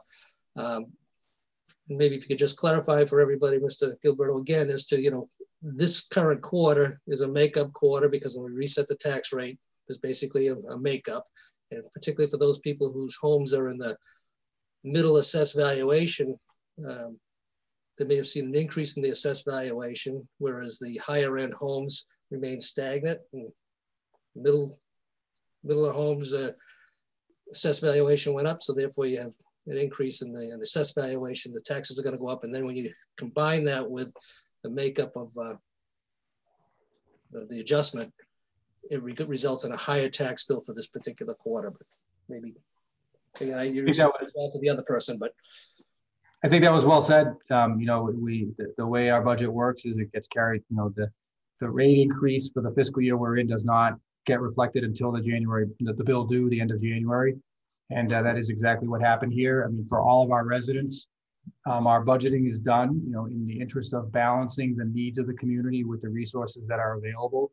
Um, our budget is developed within the parameters established under Proposition Two and a Half, which governs the uh, ability to increase property taxes. And um, you know, the I think many of you have been in the conversations on the financial planning team or on the finance committee, and you are aware of the challenges we face each year. And um, you know, this year was no no different. It was in fact more complicated uh, than previous years. Um, we're hopeful that we are, with our a balanced budget, we have a, a bit of a head start on fiscal year 2022, which is um, forecast to be very challenging.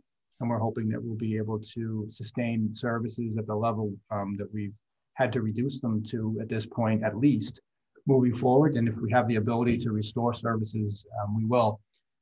You know, to the issue of property values, and I, I, know we've talked in front of the board multiple times in, in tax classification hearings. Um, some of our, you know, lower to middle valuation properties here in town are the ones that have seen the most significant increase in values as the properties turn over with individuals um, looking to buy into the community. Um, and uh, th those houses, uh, there has continued to be upward pressure on the values of those homes, those four, five, six hundred thousand dollars um, homes, even um, more so than the changes that we've seen on, on the upper end in some cases. And I, I, think that what we've heard, you know, at least from a resident and from other, from from one resident writing, but from others, I think verbally, you know, that that that trend has continued, uh, and it's a reflection in some ways of a hot real estate market, not only this past year, but for in North Reading the past three or four years. and then in relation to the, uh, one of the other questions was in relation to the Pulte money. You know, Yeah. why are we, you know, rebating it to people? And, and again, we're restricted as to what we can do if you just want to clarify again. That, that's correct. I mean, we know that, that there is sort of a belief that the town has received this, you know, windfall, which it has, but state law does not allow us to use it for recurring, um, recurring expenses. Uh, It's to be dedicated for capital purposes, um, and, and debt service. And, you know, we have been handling it in, in that fashion. Okay, any other questions? Madam Chair, Oh, Mr. Gilleberto. I have a question for myself. something? Did you forget something in your report? No, but uh, I know we're heading into old and new business and um, one thing that, and I just, I don't want to forget to say this, but we will need to vote a new time for the hearing for Lucky Mart as a result of the vote earlier this evening on the dog hearing. That's not an issue. I think we'll just change the time because I've obviously not notified them over the course of this. Okay, I forgot all about that. What time did we originally vote to hear it? I believe we said eight fifteen, and I, I think with this hearing, with the dog hearing being at eight thirty, probably back it up to seven forty-five. Um, you know, uh, or maybe eight o'clock if you think a half hour is enough. Um,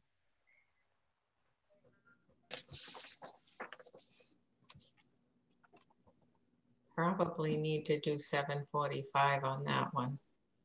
I suspect so. Took us a long time to decide what we were gonna do with the continuance.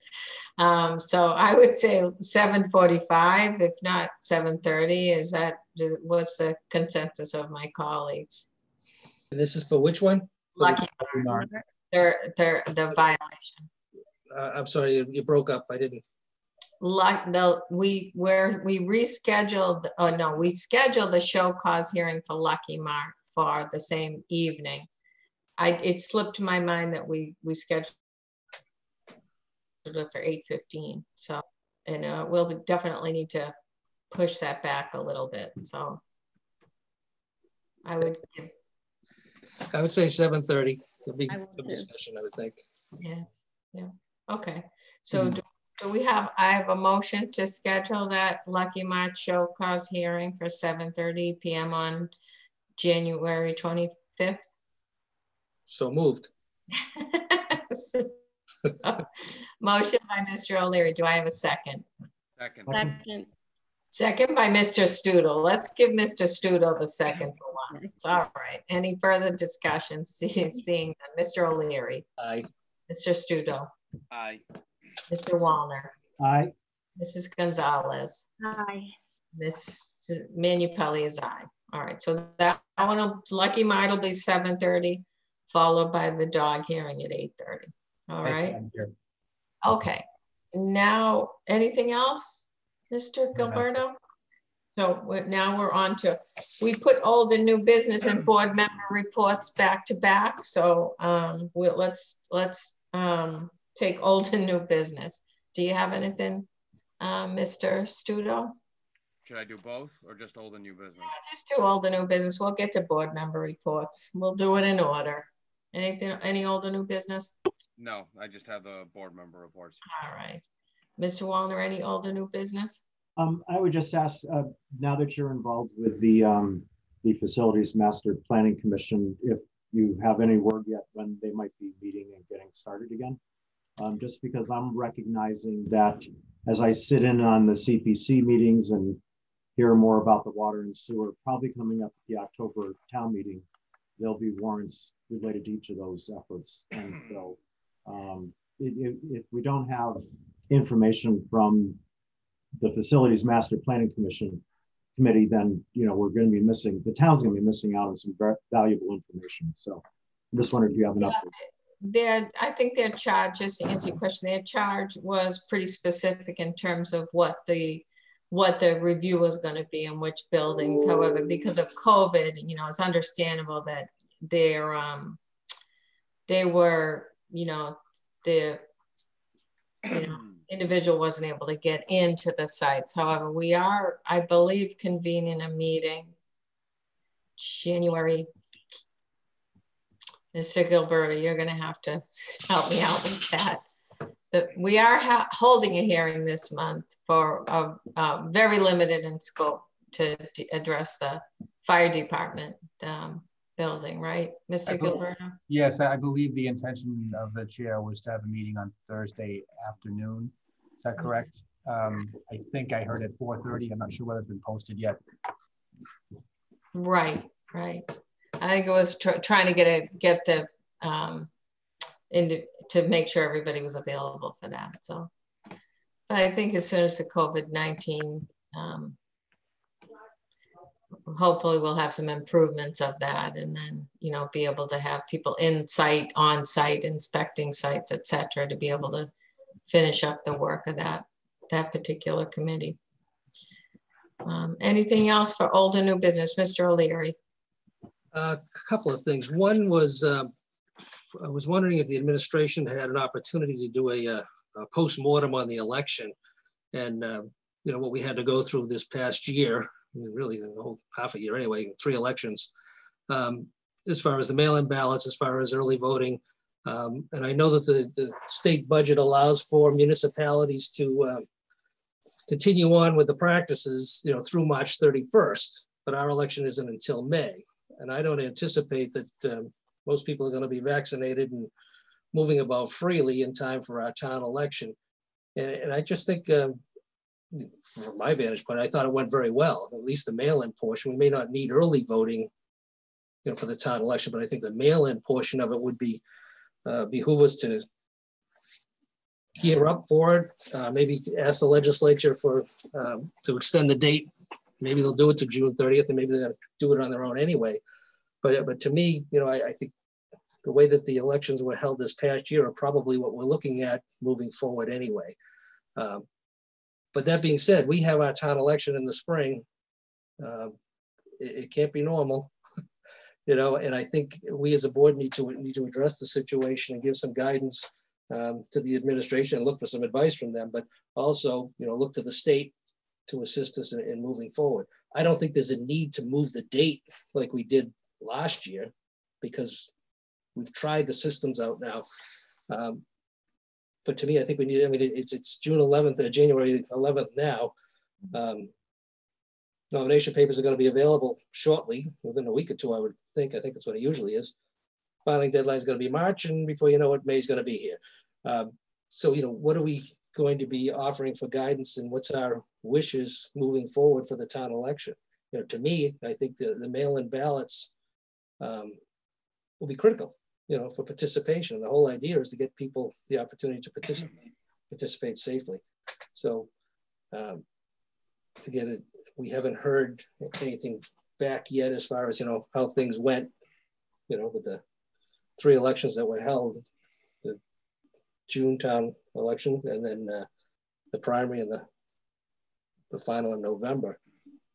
But I don't know what the, the feelings are for the rest of the members of the board, but to me, it's not too soon to be talking about it and, and seeking some guidance as to how we're going to do it in May. Um, I don't know if you've heard anything from the state on that, Mr. Gilleberto. I haven't seen anything by way of expanding that to local, but I don't know if you've seen anything. Yeah, the, the, the budget, the budget proposal pushed it out to March 31st for municipalities but that doesn't do us any good. Right, because yeah. That's my understanding as well, and that would be for um, mail-in voting only, not for in-person early voting. That's my understanding. Okay. Oh, Miss, Mr. Stuto? Uh, yeah, just just one point to maybe. I mean, I, and again, it's not. Uh, it's more like in general. I, I think to whether or not things get extended, but it seems that, and again, I was on a a non you know non-lawyer call this was just in general nationally when things will open and what will get extended you know because of the economy but i know that i don't know if this will factor in but um, depending on the vaccination schedule based on the opinions i heard on this call l- late last week the a lot of these things that were able to happen like you know under the precursor of the state of emergency I think courts are starting to give uh, indications at the highest level, especially the Supreme Court, that I think the leash is going to get shorter for governors to do certain things without legislation. So I do agree with Mr. O'Leary that if this is a priority for us, we should we should say something now because I do think that if we're not in the middle of a surge, and again, this is just my opinion listening to an analysis, if we're not in the middle of a surge, I think that some of these executive orders are going to I don't think in our state, based on my opinion of what I heard on that call and what I've heard from Governor Baker in public comments, I could see where, you know, maybe we need to take more initiative if we want more of this mail in voting or any of these other things that we got used to the last year to happen. So I, I don't think it should be, meaning, I don't think they're going to be as automatic as some think, because I think that governors already are starting to think twice about doing the same things they did last year, and we're in the middle of the bigger surge. So that's just an opinion I wanted to give for the record. Mm -hmm. Yeah, maybe Mr. Gilleberto, you can check. I I would say to check with town counsel on that, and maybe they have a. I I don't know what they permit us to do, but Mr. O'Leary's point is well taken that we should probably be looking into it now and seeing what what would be permissible and when and how and you know what's the cost factor associated with that for us as well. Um, and um, i know when we we're not the only town with may elections you know mm. and, and june town meetings that we're dealing with so. It's june, meeting, june town meeting might be a little bit late only because you know most of them were march april. We mm. changed ours to june. I think we were one of the only ones so that's late. And but may is um, May can be sort of active. April, March, April, May, with the spring elections but most of the municipalities have their elections in the fall. So, um, but it, but to me, we're outside the window with the with what the budget addressed. Uh, you know, we took care of the March dates for April, May, April and May, uh, communities such as ourselves. And to me, I think if we can um, get a consensus right now to uh, contact our legislators and, and ask them to initiate a, uh, petition to, to move that date out to, to include our May date, that would be helpful. And then again, look for some guidance and assistance if we can get it. But even if we can't get it, if the costs are going to be uh, a little bit more for the mailing, you know, that we should be able to just institute uh, what we did before, mm -hmm. even without the reimbursement levels, just because it's the right thing to do. Okay. So I think if we get a consensus and give the administrator some direction to talk to the appropriate people, the legislature, Secretary of State's office, and uh, anybody else he deems necessary, and send the consensus of the board along. Okay, are we in agreement with that? Mr. Stuto, are you in agreement with that? Yes. Mr. Wallner? Yes. Mr. Gonzalez? Yep. Me too. So that's something you think you might be able to work on, Mr. Gilleberto? And I mean, I'm happy to, to talk further with the town clerk. You know, I, I did, you know, speak with her today with regard to, um, you know, some of these issues, timelines that are associated with, uh, with this. And, you know, while we, we have not done a, you know, a full, you know, debrief, you know, I think it is fair to say that there were a number of challenges that went along with um, the elections that took place last year. Um, you know, for good or for bad, I think that the numbers that we're talking about for a town election are generally much lower in terms of the turnout. So, you know, maybe that it's much more manageable. Um, but, uh, you know, I'll talk further with um, with her about, about this. You know, I, I, I, in my conversation, she did relate to me that we have this in um, by mail early voting available through March 31st, that there's a desire to try to extend that on the part of the Secretary of the Commonwealth, I believe, to bring it to June 30th. I think he's trying to lobby for that perspective. And then there's the, the governor who's looking to add the in-person early voting component to it through the March 31st timeline. And so that's sort of where, you know, the, the moving parts that are up in the air right now, none of which have been decided yet at this point. I know that, you know, the town clerk was a, a bit concerned about, um, you know, expanding in-person requirements because of the potential exposure that it creates for the, the, the, the uh, elections workforce, um, many of whom um, you know may qualify for um, you know the, the higher at risk categories. So uh, I think that was you know not a I think it was an apprehension that she had a concern that you know she would want to consider if we were talking about something in person in advance as well. So those were her sort of initial you know, when I, from a conversation I had with her. Uh, the- the fact remains, we- even though you have those challenges and concerns, we may still have to do what we did before, you know, where the timing is of everything. So we just should be prepared for it. And I think we should uh, embrace it and, and move forward and let the public know how it's gonna, well, how it's gonna unfold if we can, you know. Okay. Thank you. I think the only other, Mrs. Gonzalez, any older new business? I, I haven't finished, Madam Chair, I still have a. Oh, Okay, I have, I have another, uh, uh, did we start off with you? I, I I forgot. started off with uh, Vincenzo, and he, he passed. I think, He passed. Um, the other thing, uh, most of you are probably aware that, you know, there's going to be a transition in, in, in Washington and traditionally every four years, the incoming administration tries to do something, whether it be a day of service or, or uh, any type of other activities. And what they're calling for uh, this year, and it's something that a lot of communities are participating is it's called, the, the theme of the inauguration is going to be American United.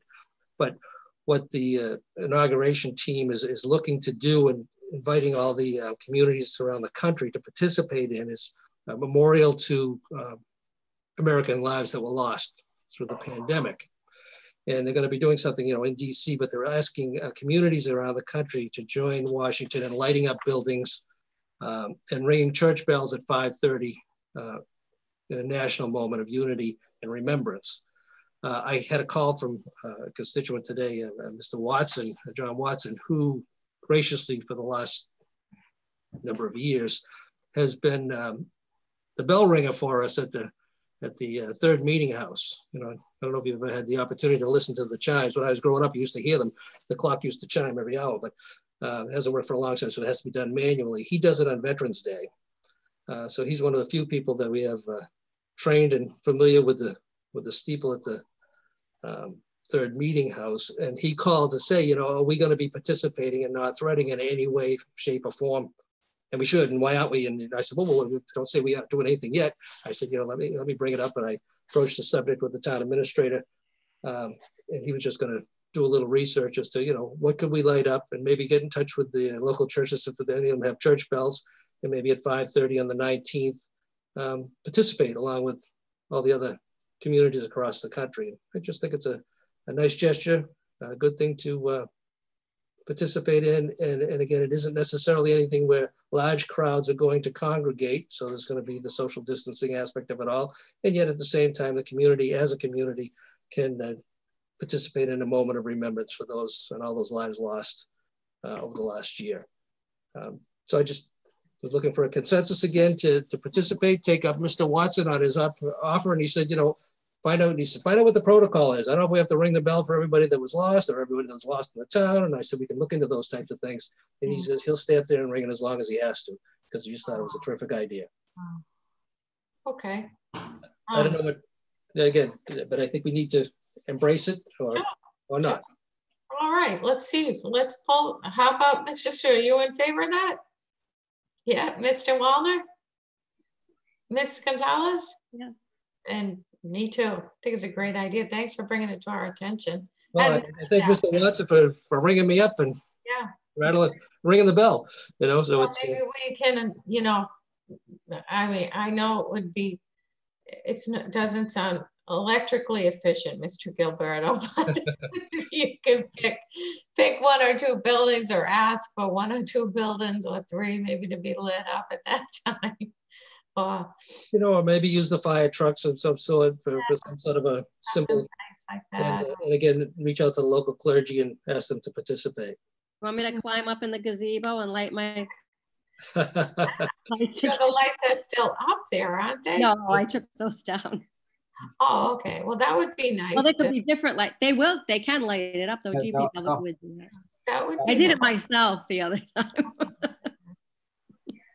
I, I would envision the, the customary, you know, action of light, if, if we're gonna do this, which sounds like we will, the customary action of lighting the gazebo, you know, with lights, you know, that is sort of the focal point, very visible in the center of town.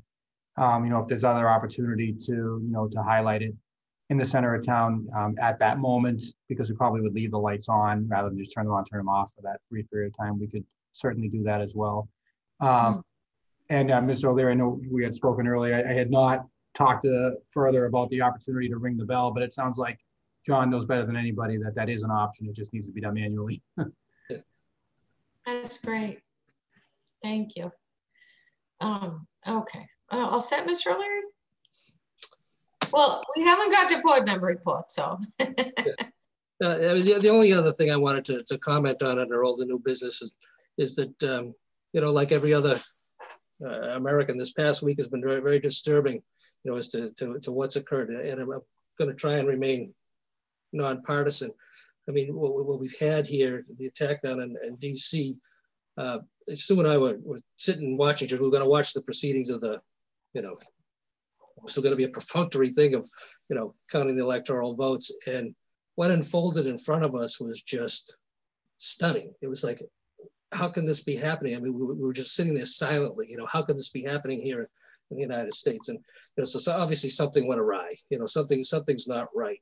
And, and then as we're watching and get all the reports later on, you know, we see, you know, what had happened. I mean, five people, you know, died and, um, you know, and I, and I, thought of, you know, my son and, and your daughter, Mrs. Gonzalez, as far as police officers, you know, on duty there when police officer died. Um, and now we have threats across the nation between the 17th and the 20th, where every state in the in the union is is on notice by the federal government that uh, you know th there's potentially harm going to be done in every every state capital. Obviously, something's gone wrong here, and you know people say you know that this this isn't us, this isn't the United States of America, this is what we're like. And when we saw what the reaction was to that crowd being able to basically walk into the Capitol building, uh, obviously there were breakdowns there. But you know how those that group of people was treated as opposed to other groups of people isn't right. Um, as far as you know, it happening isn't right. You know, so so what can we do, you know, to to assist here at the local level uh, to to unwind some of this stuff and. Uh, we, we need to take some responsibility and we need to hold those to who are responsible for inciting all this stuff responsible for it. And, you know, we, we would hope that there's going to be investigations and all the rest at the, at the federal level as to, you know, what transpired and why and what triggered it and, you know, how come the capital wasn't protected. Uh, that's all important. But, you know, we here at the local level and as individuals need to hold our elected officials responsible for the actions that they take or don't take. And I, I just want to impart on people, you know, I was mortified. I, I would never expected in my lifetime to witness what I witnessed. Live television. It, it was disheartening, concerning, uh, uh, just unbelievable. You know, so we need to we need to talk about it. We need to recognize that, people are not treated the same. Things are not equal. Um, and while there are far more good people around than there are bad people, uh, a lot of these bad people have a significant impact on all the good people in this country here. And we have to take a step back, take a look and find out, you know, how could this have possibly happened? And it didn't happen overnight. This has been percolating for a long period of time, even decades. Um, you know, so I, I, would hope that we would, you know, send a message to our um, state and even, but particularly the congressional delegation, uh, you know, they need to take some pause and take a look at and form bipartisan commission to, to see what's gone wrong with the different branches of government. Uh, why have the norms been skewed so much and, and blown up? And, you know, how can they take some corrective action? And it's going to take legislative action and policy decisions and all the rest. But how can they take some corrective action to ensure that things aren't stretched beyond the pale and aren't stretched beyond the realm of the responsibility here. Um, and to, to me, it's got to come from the bottom up again. You know, as much as they legislate and they impact us, well, we need to impact what they do and how they think and, and what they need to look at and what they need to do and how they need to address it. And, I think we just need to send a message somehow, whether it be individually or collectively as a board, even as, you know, listen, congressional delegation, you need to, to form a bipartisan group to see what's gone wrong here. And if we need to codify what society determines to be the norms, then go ahead and codify it in the law. You know, take a look at it and change it. And we just need them to take a look at it and do that. And we need to send the message up that it's their responsibility to do that for everybody. Um, our democracy is being challenged. I mean, that, I never thought I would ever see that. And you have the entire Congress of the United States and the Vice President of the United States sitting in there under siege. You know, should never have happened. Should never have happened. So I'm open to suggestions, but to me, we need to send a message that they have a responsibility to address it on a bipartisan level and to codify the changes that need to be made so that it can't happen again. You know, whether it be the president, whether it be a rep or a senator or a congressman or anybody else, they have certain responsibilities uh, to uphold the constitutional law and, and the sanctity of, of, of this democracy. And uh, it got blown up. It just absolutely bizarre. And uh, I think we should say something. You know, I just think, and again, it can be just a suggestion to take a look at what went wrong, fix it, codify it, and address it. And, you know, again, I'm, I'm, I'm trying to be as broad-based as possible. So I don't know what anybody else's thoughts are, but I've never seen anything like this in my life. I never anticipated seeing this in my lifetime. And again, I have a degree in government, political science. I've been involved my entire life, and never did I ever imagine that I would have ever seen anything like this and experience it. And it's it's heartbreaking. It's of concern, and um, and now we've got your daughter and my son at risk. Correct. The next few days. Yes. You know, for all these good people, you know, they're not good people, and yeah, they're the minority, but they are affecting our lives. And, and, you know, maybe it's a little closer to home because now I have a, a, a kid who's a, who's a police officer, you know, in the major capital city of the Commonwealth of Massachusetts, in the toughest area of the city. Yeah, so obviously it comes home a little bit, you know, while I was concerned before and embrace, you know, the concern and appreciate all that they do. Yeah, I'm a little bit more concerned now, obviously. Um, so I don't know. We need to say something, and I'm open to suggestions. And um, we need to send a message because again, it's got to come from the bottom up instead of the top down. Because if you wait for the top down to do it, good luck. Unless they hear from us, they're not going to do it. They're not going to address it appropriately on a timely basis. And if they don't address it, then we address it at the at the ballot box, plain and simple. I mean, we've seen changes starting to take place already on both sides, good, bad, or indifferent, where the voters are taking control again. Thank goodness, you know. But we need to say something. So I'm open to suggestions. But tell me I'm crazy. Yeah, no, I, I mean, I'll just jump in. I, I'm a continuous improvement kind of guy, and you don't usually have to codify or fix things, especially norms that have been accept, accepted for many, many decades.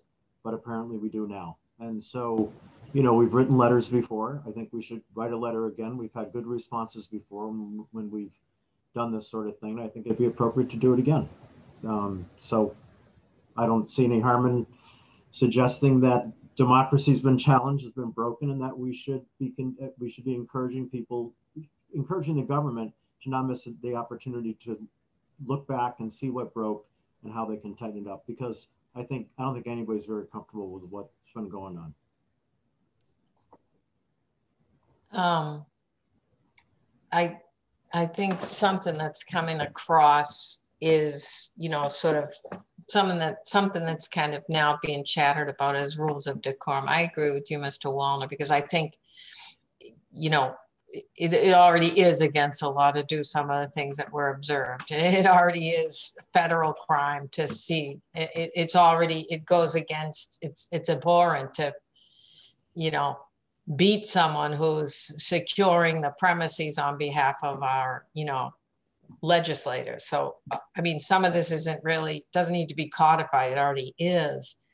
But I I do think there's a you know, I think that certainly in a bipartisan view of this, and I don't want to speak for all of my colleagues, but I, I think we're all opposed to violence and violent acts uh, being committed no matter what.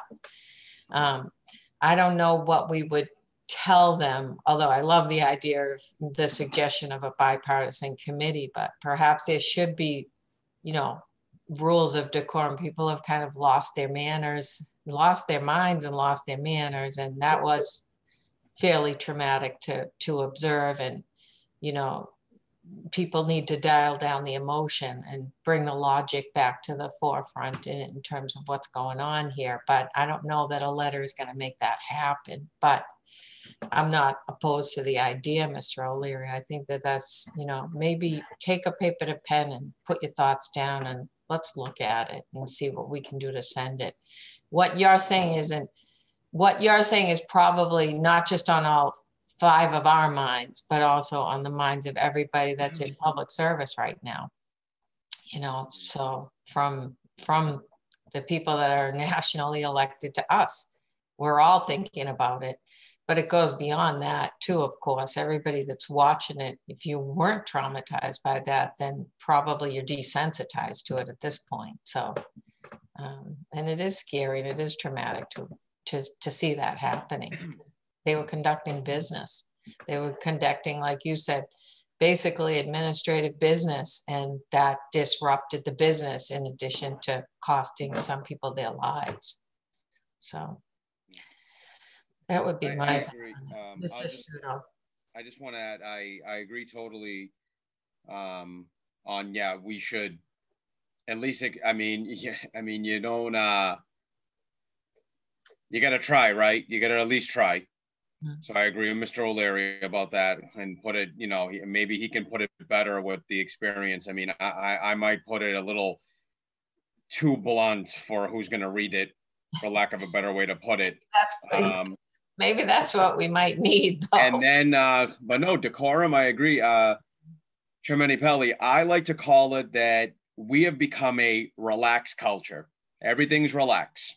Everything is, you know, you, you know, it, it, n- there is no more formality. Formality is bad. Formality is old school. Format. If you're formal, you're not with the in crowd. And this is coming from, I'm 38 years old. I'm not, you know, I'm not a 70 or 80 year old saying this. And it, and it, and it does though psychologically. And by the way, this pandemic has made it worse because Zoom culture is the epitome of no one caring about anything anymore. You know, every day it looks like somebody's at the beach when they're really supposed to be conducting business. So I do agree though that that is now translated to it's kind of like the formality of wait your turn, right? It's you can protest and you're allowed, but how about you make a meeting with some of these officials at the Capitol, right? Something like that, with which is I, I feel like you know if you're that enraged, I, I I've never seen a politician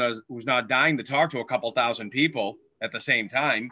So, but you just got to do it. So yeah, I just wanted to say that I think it's it's part of a broader culture issue it, across America, and I think it's it's gotten all age groups because it's not just younger; it's everyone. Where it's the relaxed culture, kind of do what makes you feel good, not always do what's the right thing to do.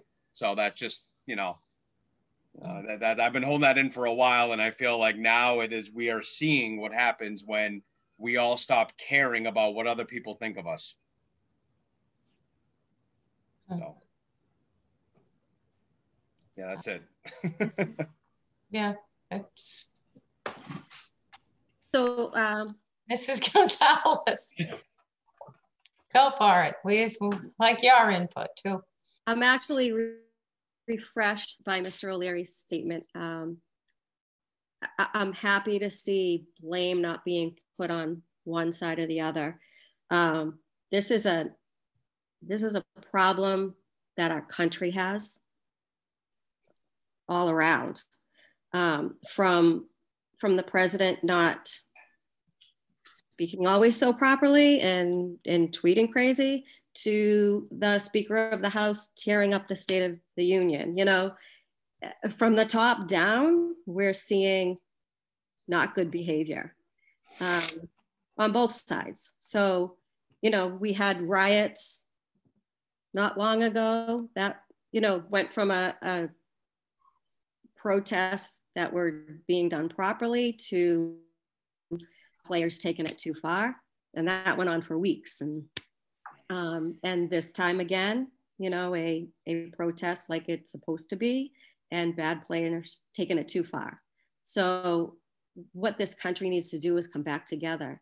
So I, I like the bipartisan agenda. I mean, I think that that is something that needs to be said and reminded to the people running this show that, you know what, we don't want our, we don't want to see this in our country. We don't want to see people pitted against each other and harming each other. And, you know, they need to know that this country needs to come back together, you know, and, and they need to lead that. So I think that's what they do need to be told. So what do you say, Mr. O'Leary? You want to give it a go? Put your thoughts down on paper and. Sure, I'll be happy to do that, but I can tell you right now, I'm going to have a very difficult time tempering my remarks, but I'll try. well, then I don't have to. I did pretty well tonight, so uh, we'll give it a shot. Yeah. We did very well tonight. Let's go from here. Let's be an example. Right. Let's work together. I'll just say. Murdo's chuckling over there you know, the challenge, you know, the challenge can go up the line, but it could also be in our town as well. I mean, we do have a Republican town committee and we do have a Democrat town committee. I mean, maybe they should also get together and try to uh, speak from their platforms together in a bipartisan way. It doesn't have to be just up the line. It could be right in our own town and, you know, put out a challenge to our own residents to see if they want to get involved and do that as well. So, I mean, you know, mm. uh, Steve, if you need uh, if you need to run bounce some ideas off. I of certainly do. But I would appreciate. I want to. I want to think about this a little bit more because this is yep. a good. This is a good. This is a good uh, initiative that you know we could easily miss an opportunity. Yeah, um, I agree. We should think about it on a local level, but also on a national level. That's just my suggestion. I agree. I think there's so many things that, that obviously impact us directly that are happening on the national level, and that is one example. But I also think that it's more to us and and I no, I don't mean us because I do think I mean there's five of us and we don't always agree, no matter what party we're from, but we always at least give each other a, a listen to understand where each other is coming from. But I agree with Mr. Stuto. That's kind of lost, I think, at this moment in time. I think people, I mean, if you told me someone was going to actually record themselves committing a federal crime and then posting it, I that would be to me is never accuse those people of being smart. So. so right, but it you know criminals are not. It's it's it's a culture that lives through its phone, and it's a culture that does does everything to show other people through through its phone. And you know even if that means disregarding logical thought and and correct action but i know yeah, they'll they'll i know it'll be easy for them to locate these people and prosecute these people but in terms of you know just that sort of you're not going to be able to force people to res- respect one another's point of view but certainly we should make some sort of a statement with regard to that.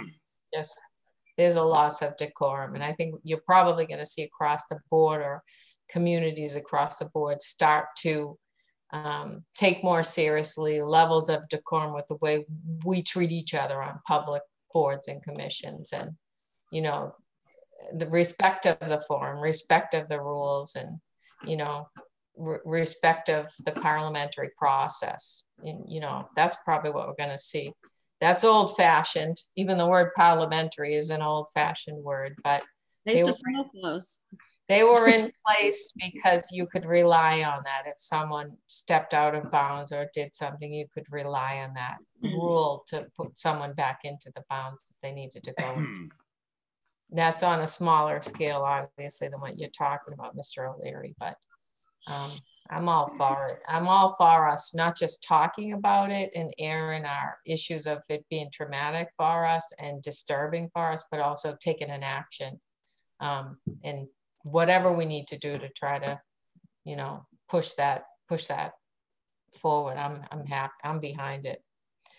I'm also happy. I want to tell you too that the I was so thrilled that the, um, because our kids are watching this, of course, and mine are, you know, and Mr. Stuto's are, are, mine always watch the news. Mr. Stuto's are probably a little bit too young, but they're watching this and they're being impacted by it. And I was so happy that the principal of the high school allowed the teachers extra time in their blocks to talk to the kids for as long as talk to the students for as long as the students wanted to talk about this and work it on. I mean, they're definitely seeing civics in, you know, civics lessons daily at this point, uh, but history too.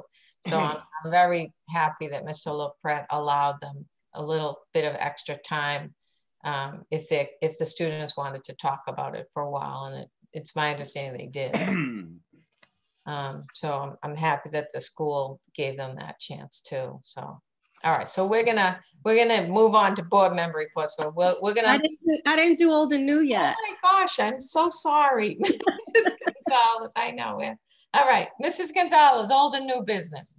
Um, because I have a couple of things, but first I just want to um, take note of uh, in the chat, Maureen Doherty, um, FYI, the Bell in the Third Meeting House um, cupola is 161 years old this year. Oh, wow. So. They were formal back then, real formal, the dress and everything. Maybe we'll ring it 161 times. oh, um, we don't want to break it. we should make sure it's in good. Yeah, we should try to be gentle with it. Um, I I also got a call from a constituent um, yesterday. There was another accident at Central and North. Um, it's really big. It, it's a really bad intersection, and um, anyone who travels that road, which um, Mrs. Manupelli and I, I believe Mr. O'Leary probably also, you know, um, daily are at that intersection and I've had my close calls. It's a it's a tough spot. Um, and they're requesting strongly that we take another look at it and have another discussion. I, you know, we, we have discussed it before and Excuse me, who's who's requesting? I don't know if they wanted me to say. Uh, oh, you're talking residents or you're talking? A resident. Oh, a resident. resident. Residents. Okay, I thought you were talking public safety or somebody. Okay. No, no, no, no, no. A resident called me, um, who who was a family member of who was involved in the crash. So of course they were very upset. Um, so I just thought, you know, we'd put it on the radar and and find some time maybe to to discuss that again. Maybe come up with some kind of an idea mm-hmm. that could help. I don't know if Mr. Gilleberto, if we could involve DPW or public. I don't know. I mean, I think something needs to happen there before something hmm. really awful happens. Um, and then I also wanted to throw something out there that I've already discussed with um, Mr. Gilleberto before and got a kind of a, a no, a kind of a that can't happen. but I'm gonna, in light, in light of Gloria Mastro, um, this was on the top of her honeydew list. And on my last letter from her, she made it clear that it hadn't happened yet about the town hall mailbox being moved over to the island so that it could be a drive through um, for the seniors, you know, to be able to drive through and put their mail in and, you know, the drop off box for the bills to be over moved over there. And I know that it was a mm. clearance issue, but I mean, even if we have to give up a parking spot, I don't know, can can we make it happen and you know, in memory of her? Like, I don't know. Maybe maybe just visit it again. Gloria's mailbox. Yeah. Yeah. Mastro mail. yeah. yeah. Um, just wanted to just put that out there too. That's all. Madam Chair, would you like me to respond or? Sure. I think, we want you, I think I don't I don't I think we want you to make it happen, but go ahead. You can respond. Well, I, I, I don't I, I hope it didn't come across that I just said no when it was first asked. I, I did look at the site with the public. You're not usually that curt. You're usually a little more yeah. diplomatic. Yeah. I, I, but um, I, I, did I did look at the site. Maybe it was Chris that said no. Uh, that's possible. no, I, Mr. Deming and I did look at the site, and um, it, within days of the last time it was brought up, we had an an, in, an issue with a an oversized tractor trailer that came in the parking lot that would have um, probably destroyed anything that was in its way. And we're, we're lucky the flagpole's still standing there when it when it pulled out. So I just think we're gonna would need, would need to put our thinking caps on about a, a different strategy for where it might need to be located. There are implications for staff as well, having to go out and get it, which uh, I think that we could probably address. But um, the short is I think we could take another look at it and try to determine what what's feasible. Um, on the issue of um, the intersections, um, we you know, we did have some uh, requests for funding um, that were not advanced through the capital planning process uh, in fiscal year 2021. Um, and for a variety of reasons, you know, and, and, all, I think all the right reasons, honestly.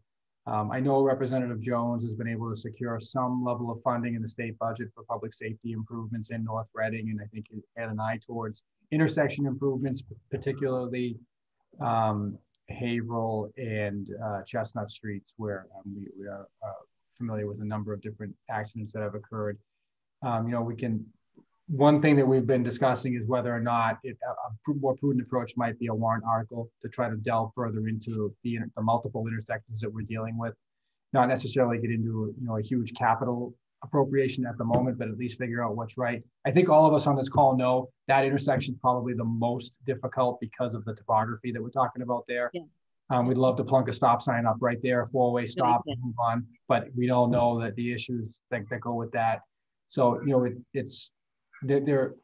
It is it is complex, but uh, you know, I'm happy to revisit that with uh, the police chief and the DPW director in light of this initial seed money that may be available from the state. I mean, I, yeah, if I could just add, and I'm sorry to interrupt you, but um, after after getting that phone call and driving it this morning, um, they they wanted me to notice that going um, towards Central on North, um, the only speed limit sign is well before the country club. There's not another one from the country club before the country club all along that route. There are on the other side um, going towards 28 we're going towards central, and that is the issue, is coming down that hill so quickly.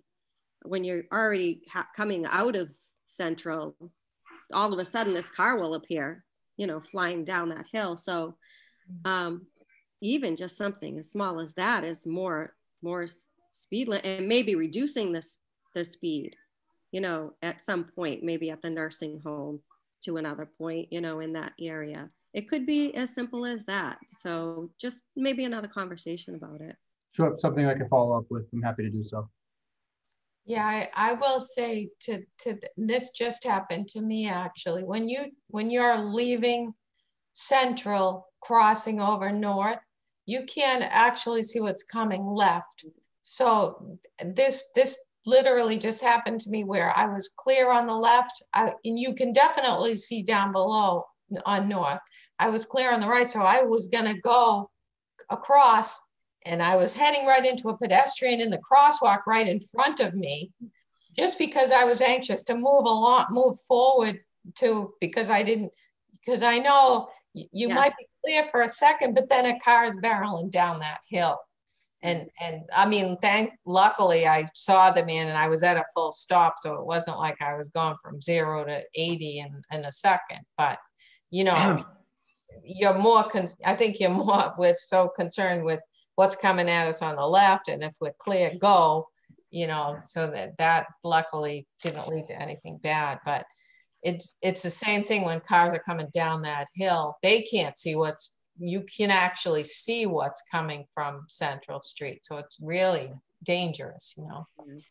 But um um, and then as far as that mailbox thing, back to that mailbox, just quickly, my thought would be instead of just for one tractor trailer that never should have tried to go in that roundabout anyway, you know, maybe you just put a no tractor trailer sign, put the mailbox up and put no oversized trucks or tractor trailers, you know, because they can go back in the back parking lot and make that easily. They can clear that easily. I don't know how many times you have tractor trailers coming in and out of that roundabout, but I don't know. I mean, it's not really meant for big, big trucks like that, you know? Certainly is not.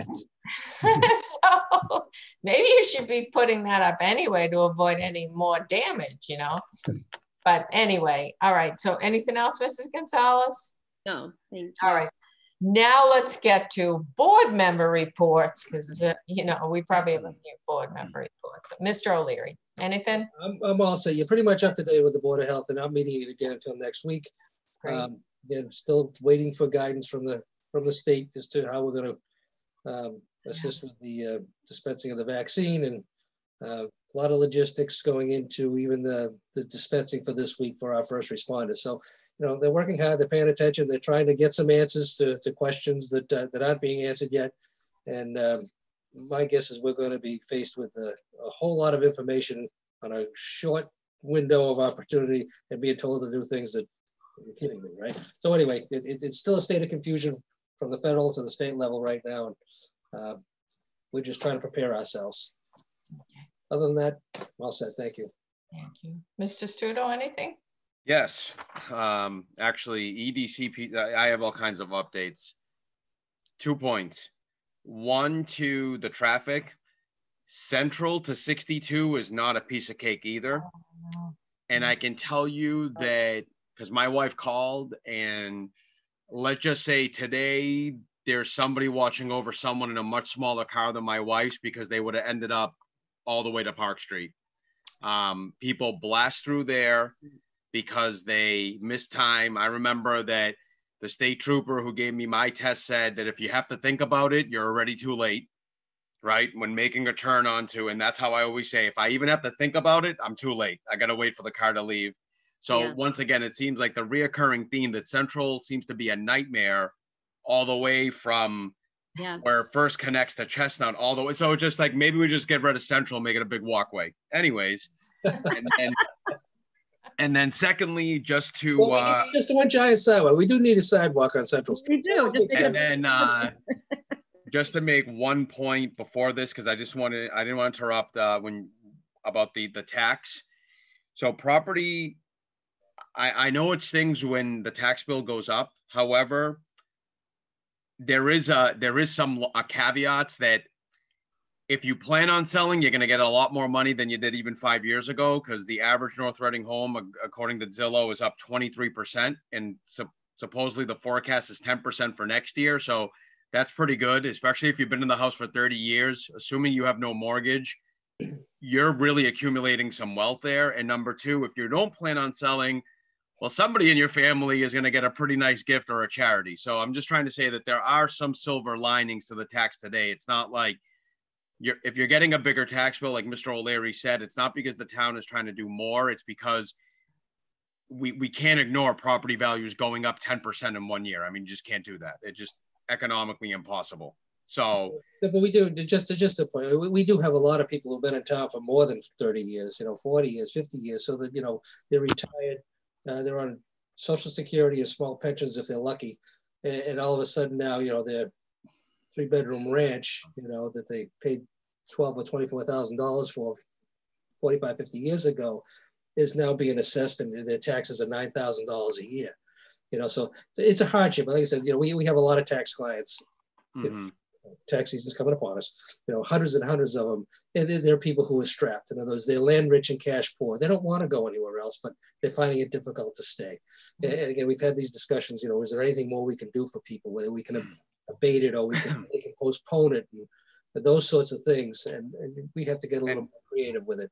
And Uh, and I agree, Mr. O'Leary. I, I- I wasn't trying to reopen the discussion. It's just that it's more of, you know, and this is something that maybe one of the, the committees I'm on can think of. But again, it's something where if the economic trends keep continuing like this with real estate, there is very little we can do, unfortunately. I mean, I'm just I'm just stating the the obvious truth, not trying to sugarcoat it, that we have to sometimes look at the silver lining when there's a bigger force that nothing, in- no one in this town can stop, which is real estate prices.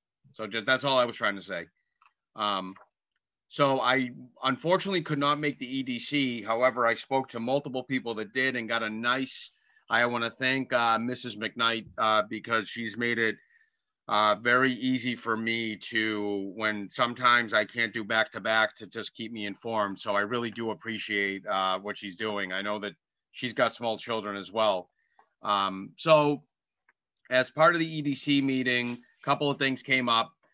Um, no, um, the officer positions were not chosen yet, uh, but some progress is being made to the final joint appointment, uh, you know, to the EDC openings.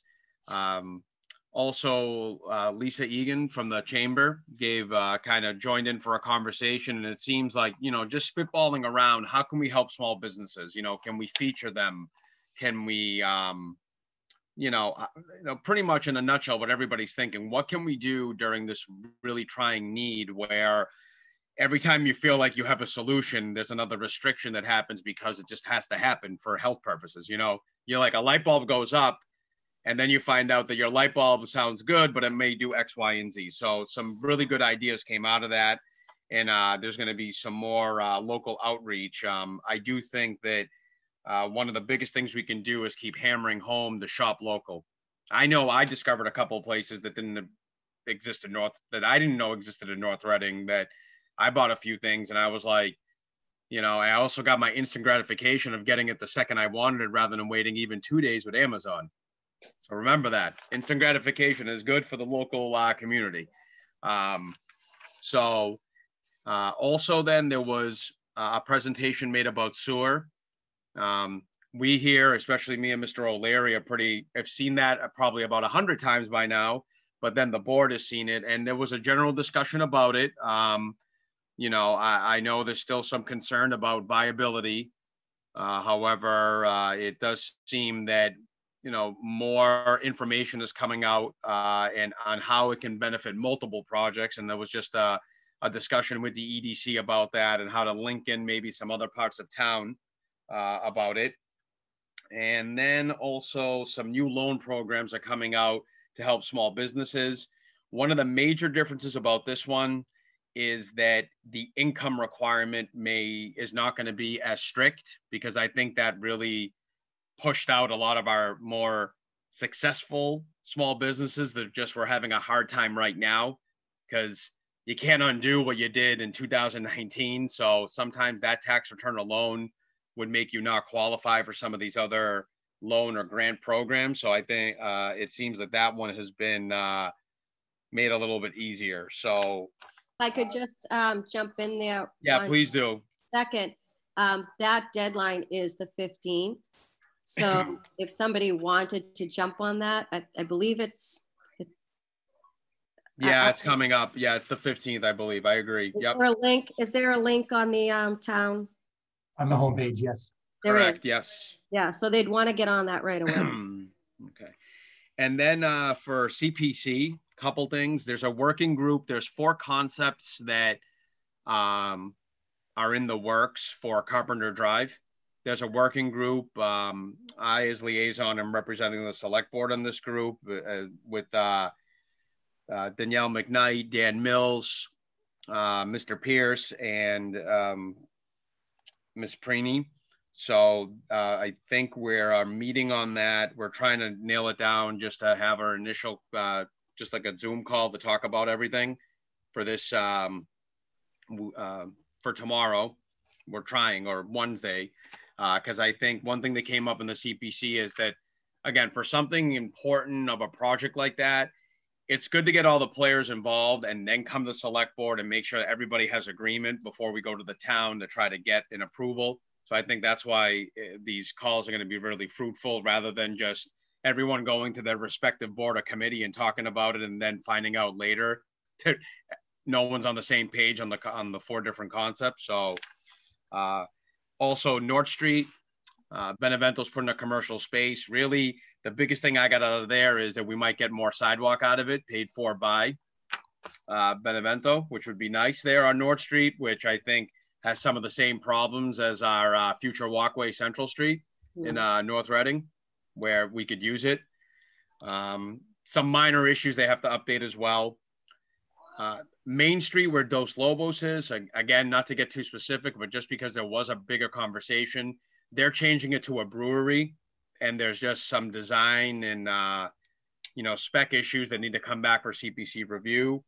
Uh, Mr. Wallner hit already that, you know, there was a discussion that the facilities master plan uh, be well, that meeting happened and just to get that going again. So I'm not going to really spend too much time. And then there was just a small discussion while we were waiting, same like here, we were waiting for a, a hearing to start for, I think, the Main Street that, um, you know, sewer is something that has gained a lot of traction. And we do feel, I think at this point, that it may be in the October town meeting. So there was a general discussion of, is it, um, you know, just about revenue, who's going to pay for it, how it's going to be paid. And it just seems that, uh, you know, the more information, the better about that. But, you know, that's, um, that is, that is it. And then I have, Oh, one last thing there. And, and, again, I know Mr. Wallner was there. So if I misspeak here, please correct me because I wrote down some notes. But there is actually a grant from the ADA for 35,000 that was just given to Danielle McKnight to study, I believe, how to make things more accessible around North Reading. Um, you know, for I'm assuming ramps and other things that would make it more accessible. I did I have noticed around town here and there that there still are some, uh, let's call them legacy properties that are, uh, it'd be hard if you can't walk upstairs. So I think that's a really nice thing that even though it did give Miss McKnight another project, which I feel like she's taken up so many, uh, this is something nice because, you know, it's, uh, it's really unfortunate when you see that, whether you're driving by or walking by or know someone personally that can't do a very what we take for granted. That's the best way to put it activity like walking up a set of stairs and has to just find a very creative way to get into a building that wasn't made for them to get into so i do think that's a nice thing so that's another honeydew list for gloria is the automatic door at the town hall oh but that's uh yeah that's uh that's all i have i tried to talk as fast as possible, even though the caffeine ran out about seven hours ago. Yeah. Right. okay. Thank you, Mr. Stuto. Mr. Wallner, board member reports? Yeah. So, um, as you may recall, I'm sure you do, the George Floyd incident set off a um, a uh, a um, a flurry of activity in North Reading back in like May, I think it was when it happened. And it was like a Friday night, and a lot of people showed up at the gazebo on the common there. And uh, you know a few of us were there in attendance. And then it became really obvious to me that you know this is good energy but if you don't direct it in the right way it's going to not really go very far. So um, i did do two summits during the summer and attracted each each session uh, a number of people from town from various you know town employees as well as residents and I, and then I kind of let them go and do their own thing. Well, as it turned out, they have assembled and they have uh, created a group called the North Reading Human Rights Commission. It's uh, comprised of about nine uh, different people in town, including some high school people, including uh, some university people, including uh, the police representatives, um, including some town employees, including some local residents who just care. And uh, they're going to be announcing themselves, which is appropriate. Um, this weekend, I think on Thursday, I think uh, the transcript will be issuing a press release. And in honor of uh, Martin Luther's King Day, they're going to be doing a book club, um, a meeting on March 4th, uh, featuring the book Stamped, which was written by Jason Reynolds. And it's a New York Times bestseller. It's a really good introduction to racial issues and why maybe a community may want to get involved. And they have, a, they're planning another event of a documentary coming up after that. But um, uh, you know, um, it, it's a great effort that they're doing. And it's, um, you know, for our town is, you know, we're really white. I mean, we're, you know, we're 98% white. Um, and it, it's probably hard for some residents to understand why maybe this is important. But I, I would encourage you, if you feel like being in a non-threatening, non-judgmental area, this would be a really good way to uh, work with people who really are just trying to do it through an educational point of view and you know, there's no browbeating, there's no political agenda. It's just, let's just talk about the topics. Um, but then also, if that doesn't compel you, the other the thing I'd point out is that our kids are growing up in a world that is much more diverse and and full of color than what we grew up with and what we have in this town. And so if you're not compelled for your own reasons, just out of curiosity, think about your kids because your kids are growing up in a world that is a lot different than what we experienced and will continue to trend that way. And so, you know, it's it's a really it's we owe it to us as a community to get involved and learn about it one way or another. And you know, starting with this book would be a good way to get started. So sometimes it's like word gets things going, and sometimes it has an impact. Um, and I think that's all I have. Thank Mr. You. can you circulate contact information for that group? Oh yeah, yeah. No, they gave me. Oh, thanks for saying that. It's um, they're going to have any, and again, it's going to be in the transcript, and I think it's going to be on social media a little bit as well. But there is an email for that, North Reading HRC at gmail.com. So HRC for the Human Rights Commission. And again, really good people who are trying to do the right thing for the town and you know have it be a long-term uh, um, effort initiative um, to educate people. And it's really the, the way we always solve these problems is through discussion, ed education, and a non-threatening environment where we can learn. So thank you for asking. Thank you, Mr. Wallner. Mrs. Gonzalez, board member reports? No, I'm good. I'm all set. All right, I'm just gonna just do a few brief things. Um, first of all, for the school department, the um, the school is having a virtual forum um, tomorrow uh, from 7 to 7.30 on maintaining a safe environment at the high school.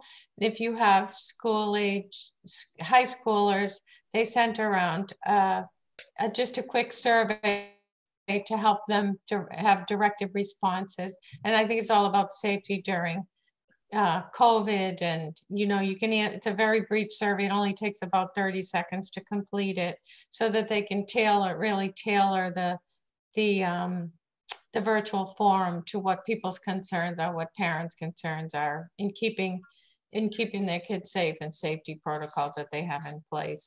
So um, there's a link that was sent around and some access information that was sent around um, and if you don't have that, you can probably just call the website uh, and I mean, um, go to the North Reading High School website.